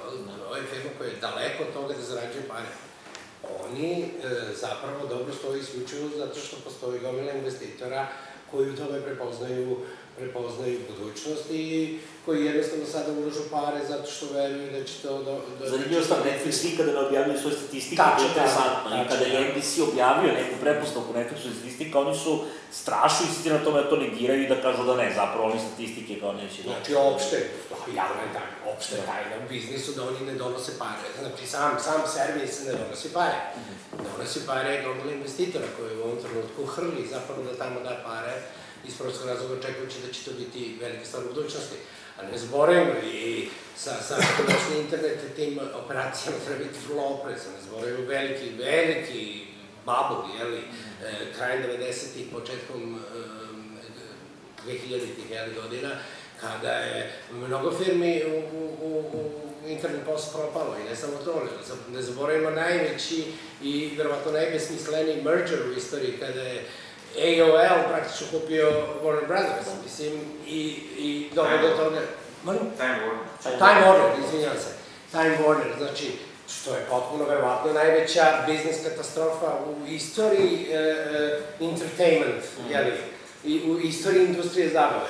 Tako da, mi se čini s tim da Netflixom treba biti vrlo oprezan, pre svega e, zbog toga što najveći svetski proizvođači, znači producenti i vlasnici kontenta, ja, sadržaja, a to su hollywoodski studiji, e, e, nalaze način, odnosno danas njihova mantra, ono što oni nazivaju OTT, jel? O, o, over the top service, znači ideja je preskočiti sve posrednike i do konzumenta doći direktno. I najveće pare i, i, i Viacom, iza koga stoje CBS, Paramount, MTV, Nickelodeon, i Warner, i e, NBC Universal, i Sony, svi najviše para ulažu zapravo načine kako da preskoče televizije, kako da preskoče Netflixe, kako da preskoče bilo koje posredničke servise i direktno uzimaju novac od, od konzumenata. U tom smislu mislim da e, već e, više promena će doneti taj njihov napor nego ovo što u ovom trenutku radi Netflix. Netflix je, evo sad ste pomenuli, i to je interesantno. Zašto su oni sada počeli, recimo, prvi put da proizvode francusku seriju? Zato što su njihovi rezultati u Francuskoj bili relativno katastrofalni. Da. Jer oni su uspeli u engleskom govornom području vrlo lako, jer su mogli da ponude najviše zapravo engleskog e, Da. e, sadržaja, jeli? Ali čim su došli u, u Francusku, čim su došli u Španiju, u Nemačku, drugačiji su malo bili rezultati. I e, u Nemačkoj nisu bili toliko loši, ali su u Francuskoj bili vrlo loši. Tako da je tu moralo nešto da se uradi i, i, i po tom planu da bi oni privukli e, e, tržište tamo, odnosno publiku tamo. Ja se bojim, kod nas neće oni previše uticati iz prostog razloga što meni se čini da kod nas mnogo veće utice ima piraterija u ovom trenutku. I da je piraterija glavni generator naših problema, u, u tom smislu, da mi ne možemo dalje da idemo, znate. Jer to je mali Budo uz sve e, pokušaje da se zaštiti, pojavio se vrlo brzo na piratu. E, isto je tako bilo, bez obzira na govori sad o kvalitetu. Pa dobro, ne, on se, po, ne, on se pojavio na Piratu tek posle streamovanja na VOD-u kod nas. Nije, nije bilo Pirata pre VOD-a. Sve, sve u redu, samo govorim o tome da, da čak i za te najzaštićenije stvari, ako, e, nađe se na kraju krajeva i, i sigurno je izgubljeno, izgubljeno je 50.000, 100.000 galaca, nije bitno, od trenutka kada se to pojavilo e, na, e, na piratu. I e, ovde je mnogo veći problem nama u, u reproduktivnoj kinematografiji, o, ovoj uzničkoj, jel? E, kinematografiji gde je jednostavno, znate, vi koliko god da se borili, film će, pa procene su grube, bar onoliko gledalaca koliko ima u bioskopu imaće, imaće i na piratskoj Da. A da ne pričamo o televizijskim serijama. S tim što ovde sad imamo jednu specifičnu situaciju, e, naša populacija, generalno imamo taj problem depopulacije, populacija u proseku starija, e, interesovanje za servise koji su generalno bazirani na internetu kod nas nije toliko visoko, zato što čak i u Americi streaming putem Netflixa još uvijek vezan za kućne računare, vrlo mali broj ljudi povezuje svoje televizore, iako televizori posljednjih godina mogu da se povežu na internet, naravno. Međutim, međutim, ljudi nisu vični tome, toliko tako da u principu Netflix nije baš toliko zgodan da Nas, se... najnoviji modeli, mislim da je Sony, ili šta je... Ja imam Doom za Netflix, da. Molim, Da. ima dugme, Da, da, ima za da, neke. da, ali, ali, ali je stvarno tome što, što prosto kod nas ne postoji ta navika povezivanja televizora sa internetom. Ali ako Da. vi imate, ako ste vi konzument jeli, Da, da. Telekoma i njihovog Da, da, da. IPTV-a, pa šta vi znate kako vama dolazi taj signal? A taj signal dolazi preko interneta, jel? Da, da, naravno, naravno. I šta vi znate, da li je to kabel, da li je to internet, da je to na klasične antene? Za vas je sve jedno. Jasno. E, ovde je najveći problem kod njih, izvijem se samo da dovršim što mislim da oni ne rade dovoljno. U tom smislu govorim i SBB i, i ovaj, e, Telekom sa svojim e, tim e, sistemom, jer opet verovatno i tu logika da je da kupimo najjeftiniji sistem i onda je- je- jednostavno imamo katastrofalne rezultate recimo na VOD u Srbiji, Da. i na SBB-u i na Telekomu, a imamo spektakularne rezultate u Crnoj Gori. A mi vi objasnite, u zemlji koja ima, prvo, sam broj pretplatnika tog servisa u Crnoj Gori je manji nego u Srbiji, a rezultati su pa 40 do 50 puta bolji, koliko to god besmisleno zvuče. Ali imaju drugi software, šta? Layout, software, verovatno, pristup, način na koji vi možete da birate filmove. Ovamo, evo, projekt u SBB-u, brate, mi izgubiš se. U Telekomu, još gore, ne znaš ni šta gledaš. I kaže TV klub ili je video zona ili šta. Da, da, ne znam. Ne, ne, nemaš predstavu. A Crnogorci, znate šta, mi smo, evo, ilustracije radi. E, u distribuciji imamo o, televizijskoj, imamo onog e, Schwarzeneggerov, ali Total Recall. E, za dva meseca u Crnoj Gori sam imao 480 transactions. To je 470 puta euro i nešto na, nama dođe. On je moj deo. Ja ne bih tolike pare zaradio da sam prodao televiziju za emitovanje. Uh, znači, vi- znači, znači, mislite da još uvijek nije da recimo takav neki streaming servis, znači bilo da je naš ili, ili strani, bude zainteresovan da finansira originalni program, ne bi li ga ekskluzivno streamovao i time povećao svoj broj pretplatnika? Što gospodin malo pre rekao, hrabar kapital. Možda. Ja stvarno ne, ne ulazim, ja stvarno uh, verujem da, da, da, da, mislim da treba da se stvori kritična masa. Mislim da treba da, kao i za sve, imate dovoljno njih koji su spremni da kažu, evo, ovo me košta A, a da li mislite 50 recimo sam da- brand, recimo Netflixa, može da nosi marketinšku težinu u smislu da vi recimo imate određene brendove koji imaju već velike teškoće da se reklamiraju na našim televizijama. Znači recimo imate neki prestižni brend koji prosto ne može se emituje u pauzama farma, u pauzama parova, u pauzama velikog brata, u pauzama nekih tako razno raznih ove emisija, prosto to sebi ne mogu da dozvole, a kojima bi recimo možda imponovalo da budu pokrovitelji nečega što je na Netflixu, što već ima tu jednu, pot- jednu potpuno drugu konotaciju. Dakle, ta neka sinergija između tog marketinškog i, i ovog elementa. ali mi ovde imamo najveći problem što su naše advertising agencije i media buyer, mislim advertising agencije kao naručioci jeli reklama na kraju krajeva samo male ekspoziture, nečeg većeg. Tako da kada dođe do iole bitnijeg brenda, uh, ovde se, se ovo, se, ovo je mnogo malo, malo tržište, mala je teritorija, 7 miliona ljudi, vi znate sigurno bolje, meni i medija bari tvrde da nije bilo više između od 53-54 miliona keša, eura u televizijskom advertisingu. Znate šta, to je toliko vredno. Svi su oni bavili uopšte ovde e, nekim targetiranjem ili bilo, bilo čime. Ja e, verujem, ja sam dugi god, e, niz godina recimo imao licencu ovde za američki sitcom Dead 70 Show. Sitcom koji se 10 godina emituje u Americi, e, ne zato što je bio najgledaniji, nego zato što je bio najgledaniji u kategoriji stanovništva preko 100.000 dolara e, prihoda. E, ali to u Americi moguće. Da. A ovde gleda se opšti rating i sasvim je sve jedno da li je njemu došao, ne znam, da gleda neko ko ima platu od 3000 eura ili je došao da gleda ovaj koji ima penziju od e, 200 eura. Da. Znate, i onda, ovde je tu problem, naravno. Ovde je tu problem za bilo koji brend, a gde ja da idem? Jer čak ni ovi ne rade tu vrstu istraživanja. Da, da. E, oni će da rade Beograd, širi Beograd, duži Beograd, pa tek na osnovu toga da zaključiš, e kao na starom gradu, ako se gleda, mora da to onda znači da ti ljudi više imaju para ili šta god. Ali mislim da je to toliko neprecizno, toliko ne može nekog da navuče. A opet s druge strane, ako pogledate, ako postoji e, tržište od hiljadu ljudi koje je spremno da plati recimo 10 eura da odgleda od kuće premijeru e, e, filma novog, jel? Da. To je 10.000 eura. To je više, verovatno, nego što gomila filmova može da zaradi u, u, uopšte u celoj bioskopskoj distribuciji. A da ne kažemo onda varijantu, što kaže gospodin, e, davitelj protiv davitelja u, ne znam, ne davimo Beograd, nije bitno. E, e, To sad zbog naslova ne. Ali pola miliona zbog naslova još Bilo veze. A zamislite to da se da, recimo, neka VOD, VOD premijera za celu eksiju, pa da kažemo, eto, to košta 10 eura, Ali, ali možda ovo- biste navi- da, da. navukli i 300.000 u Da. cijeloj Ali Jugoslaviji. ovo je pitanje sad za, za, za gospodina Šeja, znači, da li biste vi bili spremni na to, kada bi neko došao i rekao ovako, finansirat ćemo film koji je po svim svojim atributima bioskopskog kalibra, dakle, tehnološkim, e, autorskim, muškim, ali da ne ide u bioskop. Dakle, da bude, sad da bude... takva situacija da, mislim, ništa drugo mi ne preostaje. Da, da. Planiram jedan film mobilnim telefonom, da pošto ne znam kako drugčije.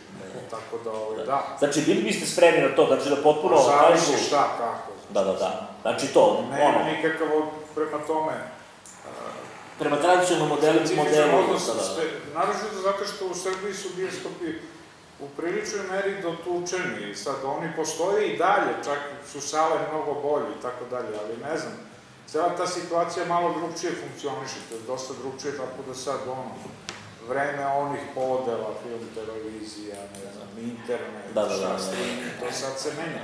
Ja čak mislim da, mene čudi da neko nije krenuo neki reality da ide pravo u streaming. Da.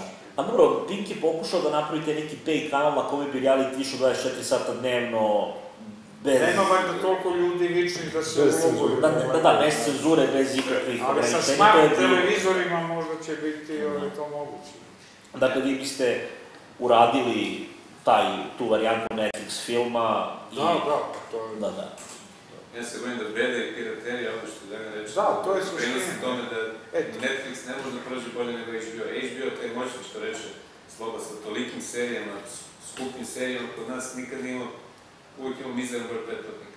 Da, da. Ali nije, nije samo to, Dragane, vidi, ja sam veliki ljubitelj Netflixa jer sam u Americi Naravno, put gledao naravno. i to je, to je bio prvi sistem koji mi je odgovarao, znaš, jer je imao dobar meni tamo, ne znam kako je ovde, ovde se nisam pretplatio još, znaš, ali mislio sam u kad to dođe kod nas, međutim, znaš, ali tamo, znaš, po onom meniju žanrovi, pa onda, recimo, strani film, znaš, pa Melvilla titlovanog na engleski, znaš, pa i meni je to, ali ja sam specifična publika, znaš, tako dalje.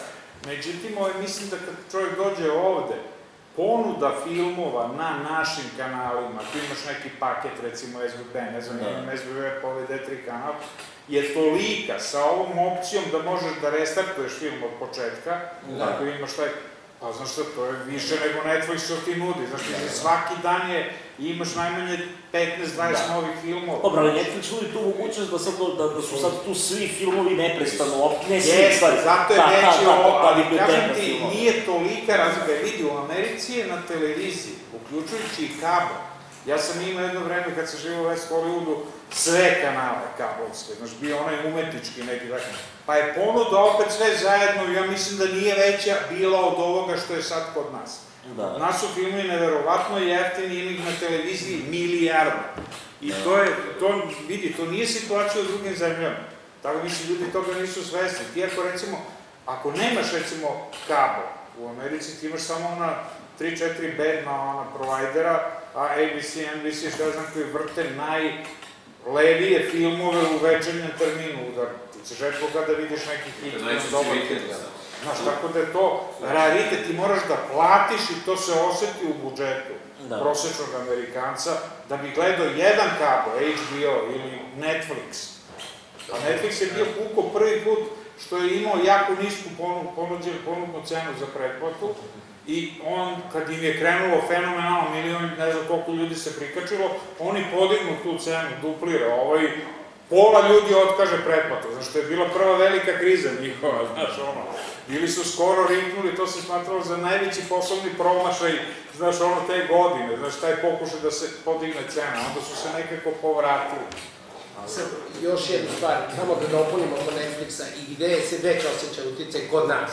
I bojim se, u neku ruku će biti negativno, vjerovatno. Evo, recimo, konkretan primjer ovog filma Sinoćne, koji smo uh, mi kupili, Da, da. za, uh, prikazuje se na, na Comedy Festu, uh, tri muškarci i onaj četvrti, mi nismo mogli da dobijemo televizijska prava, zato što je televizijska prava blokirao Netflix. Tako da, mi smo e, mogli da kupimo isključivo e, theatrical, znači bioskopska prava i da kupimo transactional VOD, što će reći taj gde platiš da gledaš film. Da. Čak i taj subscription ili, što je zapravo ne- Netflix, su, znači, oni zadržali. Znači, zadržali su kompletna televizijska svetska prava i zadržali su, dakle, SVOD. Tako da, u toj varijanti... Određeni broj godina ili... E, Bazi, e, nema razgovora do 2022. ja mislim, ili 2023. A posle toga oni imaju opciju da, da, da produže. Znači, e, manje više zaboravi. E, šta je tu problem sada? Problem je što dobar deo tih filmova koje mi kupujemo, e, mi računamo na prodaju televiziji da nam upravo donese tu neku, ono što sam na početku pričao, da nam donese tu neku dobit. Jer ako računamo na bioskope, teško da ćemo... da Znači, ćemo dugoročno. Netflix ubija bioskope, niko neće Upravo to, kupovati filmove za upravo. bioskope. Upravo to. Nova Na taj- kontrarevolucija.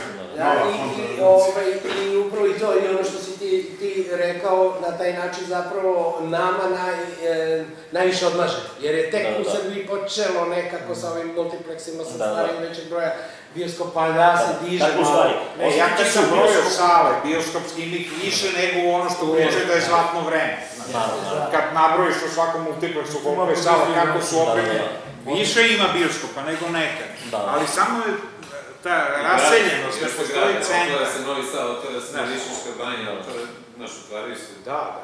Ali, Da, ali je znači, sve rasuto, znači, ne stvari da je sledeći. ideš u neki kraj grada da E, gledaš film. e, Što- Uvoz filmova koji su nezavisni je bio baziran na tome da oni izađu u bioskope, tu ne mogu da donesu prihod, ali se na kraju isplate kroz televizijskih prava, sa pojavom Netflixa ne mogu da se naplate kroz televizijska prava, samim ti ne mogu da su vezani za bioskope, neće biti isplativi. I Da. tu će biti najveći problem, mi i ovako u bioskopskoj distribuciji imamo, osim naravno hollywoodskih majora, to ostavimo Da, na da. strani, e, znači ono što je prisutno ovaj, od neameričke kinematografije generalno su evropski filmovi, jer evropski filmovi za njih možete da dobijete potporu od e, euroimaža, to jest do do, do skora ovaj, euroimaža, od jel, decembra dobijemo potporu od medija, odnosno članovi su mediji, tako da e, i kad se kupuju, distributeri ovde kad kupuju strane filmove, ne američke filmove, uglavnom su ovaj, orijentisani ka evropskim filmovima, jer za njih mogu da dobiju potporu. A, a ov, ova varijanta koju mi, recimo, brazilski film, koji je u trenutku izuzetno jak, mislim, taj jaka kinematografija, jel, po sebi, e, brazilski film je otprilike jedini koji van Evrope daje neku potporu za, za distribuciju. A sve ostalo, bojim se da će nestati. Jer, s jedne strane, Netflix će e, blokirati ta televizijska prava, znači nećete moći ni televiziji da prodate, a s druge strane nećete moći da računate ni na kakvu drugu potporu, tako da se bojim da će ti filmovi najviše zapravo, u tom smislu, najviše nestati sa, sa, sa tržišta, da. Gospodine Tešiću, kako vi ovo gledate?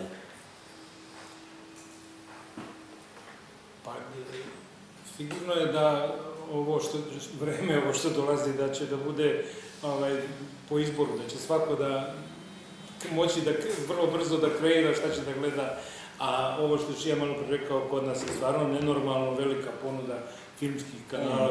Dobro, to se neće vratiti na velike televizije, su oni onako izbacili filmove. Pa ne, ove velike televizije su prestale da emituju filmove, pojavili su ovi specijalizovani kanali. Kad ćeš da prodaš Pink Action, SBB kanal? Nema. Da, oni će da uzmu. Ono što je, što je, što ti kanal. vratim, Pink Western, ti ne možeš da gledaš ni Pink Horror, pa ima, ima Pinka, ne znam, 30-40 kanala, ne znam koliko ima. Pa Da, da, ali nema filmskih ima, ima 14-15, samo filmskih kanala različitih, ali ne, nema, ne, samo ne izgubljaju, nema, nažalost, konkurencije. Pa dobro, to je sad pitanje ove, ove borbe. Ono što, što, mislim, neću naravno da zaključujem, ali e, što je problem ovde, ja sam mislio da će sa pojavom više televizija da bude više domaćeg programa i Da. više onog domaćeg originalnog programa serijskog. Nažalost, to se nije ostvarilo, jer u toj e, trci za, za profitom oni biraju da rade ono što im je najlakše. E sad, ali istorijski gledano i turski program je ovde domaći. Kad, kad bi, ali kad bi mi sad uzeli jednu jednostavnu stvar i, proč, i pročitali samo zahteve televizija da dobiju frekvenciju koji se nalaze na tamo RRA i vidimo šta su oni napisali, čime će se baviti. I, I šta mi gledamo, oni bi svi mogli da izgube ono što se zove licencu, jer nigde ne piše da će prikazivati 10 turskih serija. Ali svugde piše da će proizvesti domaću seriju. Ali sad nema ni jedne ovaj, domaće serije, a ima 10 turskih. Da, da- ali to su sve manjine, kako, zavisi kako se shvati taj, taj član u zakonu. Da. Pa, mislim, naravno, naravno. Ja bih samo teo da kažem da ja gledam na taj Netflix kao onaj jedini spas za nas. Ne mislim konkretno Netflix, nego nešto tako, da direktno se iz produkcije ide do gledalaca. Da. Da se preskaču svi ti urednici, televizije, odlučivanja, dilovi i ostalo. I onaj ko bude prvi uspeo da dopre do gledalaca i da krene da zarađuje pare, taj, to, to nam je jedini spas. jer ovo- će Google na kraju nešto Da, smisliti. neko, da, U da, suštini, e, i ovo da oni idu direktno do gledalca, onda je to ogroman broj e, individualnih firmi koje proizvode program. Opet ti ne znaš kako se snaći. Ja mislim da Potreban je Google- neki... Google već razrađuje preko Jest. No, mora neko, Amazon. Ne znam, Netflix, Ali Google, kogod tu nadvlada. A znate šta, ogromna je razlika. Mi imamo postavljene neke filmove koje imamo, mislim, i serije. Imamo postavljeno na Amazon Prime, imamo na Vimeo postavljeno. Naravno, niko ne gleda. Evo, kako da ih pronađeš? Znači, ovo je Znači, specifično za znači. film, tu je Da, Netflix da, da, meni da, bio se. znaš. Jer sam mogao da se snađem orijentacijalno i da idem u pravcu onoga što me zanima i na kraju bih uvek našao nešto. Ali, ako bi sad, recimo, producent neki stavio na Apple ili ne znam, Google film koji je proizveo ovde ima ne znam koliko stotina hiljada ljudi mladih odavde koji su u Americi, Australiji, svi su na, na internetu, na kompjuteru, e, radi da mogu na da da, tome. da Samo mogu da kupe taj film, da nije piratizovan, onda bi taj mladi mali budo bio, na primjer, milion ljudi ili 300 hiljada ljudi u inostranstvu po dolar, to je 300 hiljada. Sada su u povoju dva streaming servisa koji se sve, naše dijaspori. E, Trenutno su u povoju dva streaming servisa, koliko ja znam, koji se obraćaju našoj dijaspori. Ovaj, upravo sa tom idejom, zato što u principu dijaspora generalno živi u strahu jer nemaju regulisane ove razne stvari u životu, pa ni ne smiju da skidaju ilegalne Da. stvari s interneta. Ove, ove, što je, mislim, naravno karakteristično za ljude generalno na zapadu, naravno za ljude koji nemaju regulisane papire i koji ne bi hteli zbog nečeg bez veze da dođu u nevolje. Tako da su trenutno u povoju dva e, streaming servisa koji bi e, se bavili upravo to. Da. Srpskim ili da kažem, verovatno, ajde, neko Ex-jugoslovenskim, uh, film. Uh, za kraj htio bih da vam se zahvalim, mislim da ste bili sjajni sagovornici, nadam se da sam ovaj, postavio sva ključna pitanja ako ovaj, imate, ima, imate još nešto da kažete što mislite nisam pomenuo. Evo, Pa ja bih rekao samo za, za ovaj internet, e, odnosno, vrlo je, vrlo je važno tu raščlaniti ono, one besplatne sadržaje na internetu i one koji se plaćaju. Od besplatnih sadržaja na internetu, gde se gledanost meri klikom, je budućnost kratka forma, da vi u pauzi na poslu možete pogledate nešto duhovito od 3 do 5 minuta i po, posle određenog broja klikova, 500.000 ili šta već, vi počinjete da zarađujete na tome. Znači, ali ovo, ovo, ova druga stvar je da vi kupite ono, igrani, dugometražni igrani film za ne znam koliko evra i da, da ga pogledate. Znači, to su dve različite stvari. Ali, ako ćemo da, ovaj, mislim da je, mislim da je budućnost interneta upravo u tim kratkim formama, jer on meri gledanost klikom i gledanost je, jedan klik je, je jednako vredan na nešto što je 3 minuta i što košta 300 evra i na nešto što košta 100 miliona dolara, ovaj, a ima 90 minuta. Ali, ajde sad, je revival baš tih kratkih formi i to meni je interesantno eksperimentalno film. Da. Koji inače nije imao nikakvu Da. Popularnost, sad odjednom možda nađeš sve moguće. Znaš, Da. najhermetičnije stvari, klik kao, Da, da. aha, E, nisam mogu je- da je- Evo jedno pitanje koje je sad u stvari Vlada otvorio i time ćemo da zaista završimo.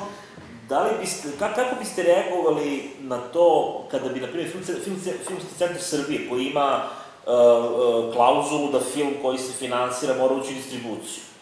Znači, on mora da uđe u distribuciju i tada se njegova, da tako kažem, sredstva koja su uložena u potpunosti opravdavaju. Da li biste, uh, kako, kako biste gledali na to koliko bi se neka vrsta Netflixa ili nekog streaminga ili nekog od tih standardizovanih servisa uvrstila u formu distribucije? Da li bi vam to bilo prihvatljivo? Znači, da recimo snimite film, jako, da. znači snimite film, ali umesto da ga pustite u bioskope, stavite ga na Netflix. I da li bi, da li, da li bi vam to bilo, da li bi tebi to recimo bilo prepreka da FCSU i to kao standard? Znači da može da kaže, ok, film koji finansiramo ne mora otići u u ali mora otići, na primjer, može da ode, na primjer, na neku platformu koju naravno Film Centar Srbije verifikuje kao Pa tu, standard, tu, jel? se, tu se postavlja pitanje oko tih autorskih prava vizavi starih ugovora. Znači, ako si ti dao pravo na bioskopsku distribuciju Da. a nisi dao recimo na DVD, na Da. streaming, tako da to sve mora se reguliše novim Ne, ugovorom. ne, ne, ne, ja, ne, ne, ja govorim o budućim projektima. A Znači, da, kod nas, nažalost, zakoni se vrlo često primenjuju retroaktivno. Znači, uopšte ne Da. postoji onaj anglosaksonski Mislim da. Filmski centar Da on važi od ovog država trenutka. bioskope ne bi smio da sada prihvata platformu koja je pogotovo strana. Da. Ne, ne, za to postavlja pitanje, naravno. Dakle, strana platforma Jesu, koja je što je došla zajedno protiv para ne zakona. prihvatamo kao regularne Nema veze. institucije, a da istovremeno podržavamo bioskope i, i ulažu u njihovu digitalizaciju. Domaći bioskope, znaš, ako prihvatiš to, bioskopi... Da, da, ne, dobro, zato što postavljam pitanje, prosto to bi, to bi bilo interesantno. Nelogično. To može, to može da bude neka klauzula da se posle, ne znam, ono, bioskopske distribucije, da se onda tek, ovaj, kad se bioskopska distribucija završi, svi koji su možda hteli gledaju, nisu stigli, kupi ga za, za, za, za 3 evra, kupi kod kuće, sam ispeče kokice i opet donosi zaradu, ovaj, kako se zove, producentu. Da. E, za sam kraj, e, Šiki, preporuka, preporuka, jeste smislili preporuku? Nisam pratio ovu konverzaciju. Da, da, a da ste smislili preporuku za komediju? A, pa ne, pa znaš šta, to sad ja volim ono braća Coen, Woody Allen, tako neke komedije njihove, nešto najnovije mi ne pada na pamet, jer svi ovi Mike Myers, znaš ono, koje sam volao, Da. stvari, ovaj, ipak u tom periodu zadnjih Prošlo. deseta godina, Da, da, znači da, nije da. ova godina, nije prošla. Jasno, Setit ćeš- jasno. setit ćeš Znači, se morao bih da pratim Ja, ovaj ja, festival da bi ja, se setio. Znači završavamo to, hvala vam svima da prosto ovaj snimak će biti na YouTube-u i moći će... Koliko će klikova da ima da vidimo da li će to... Ja jesam,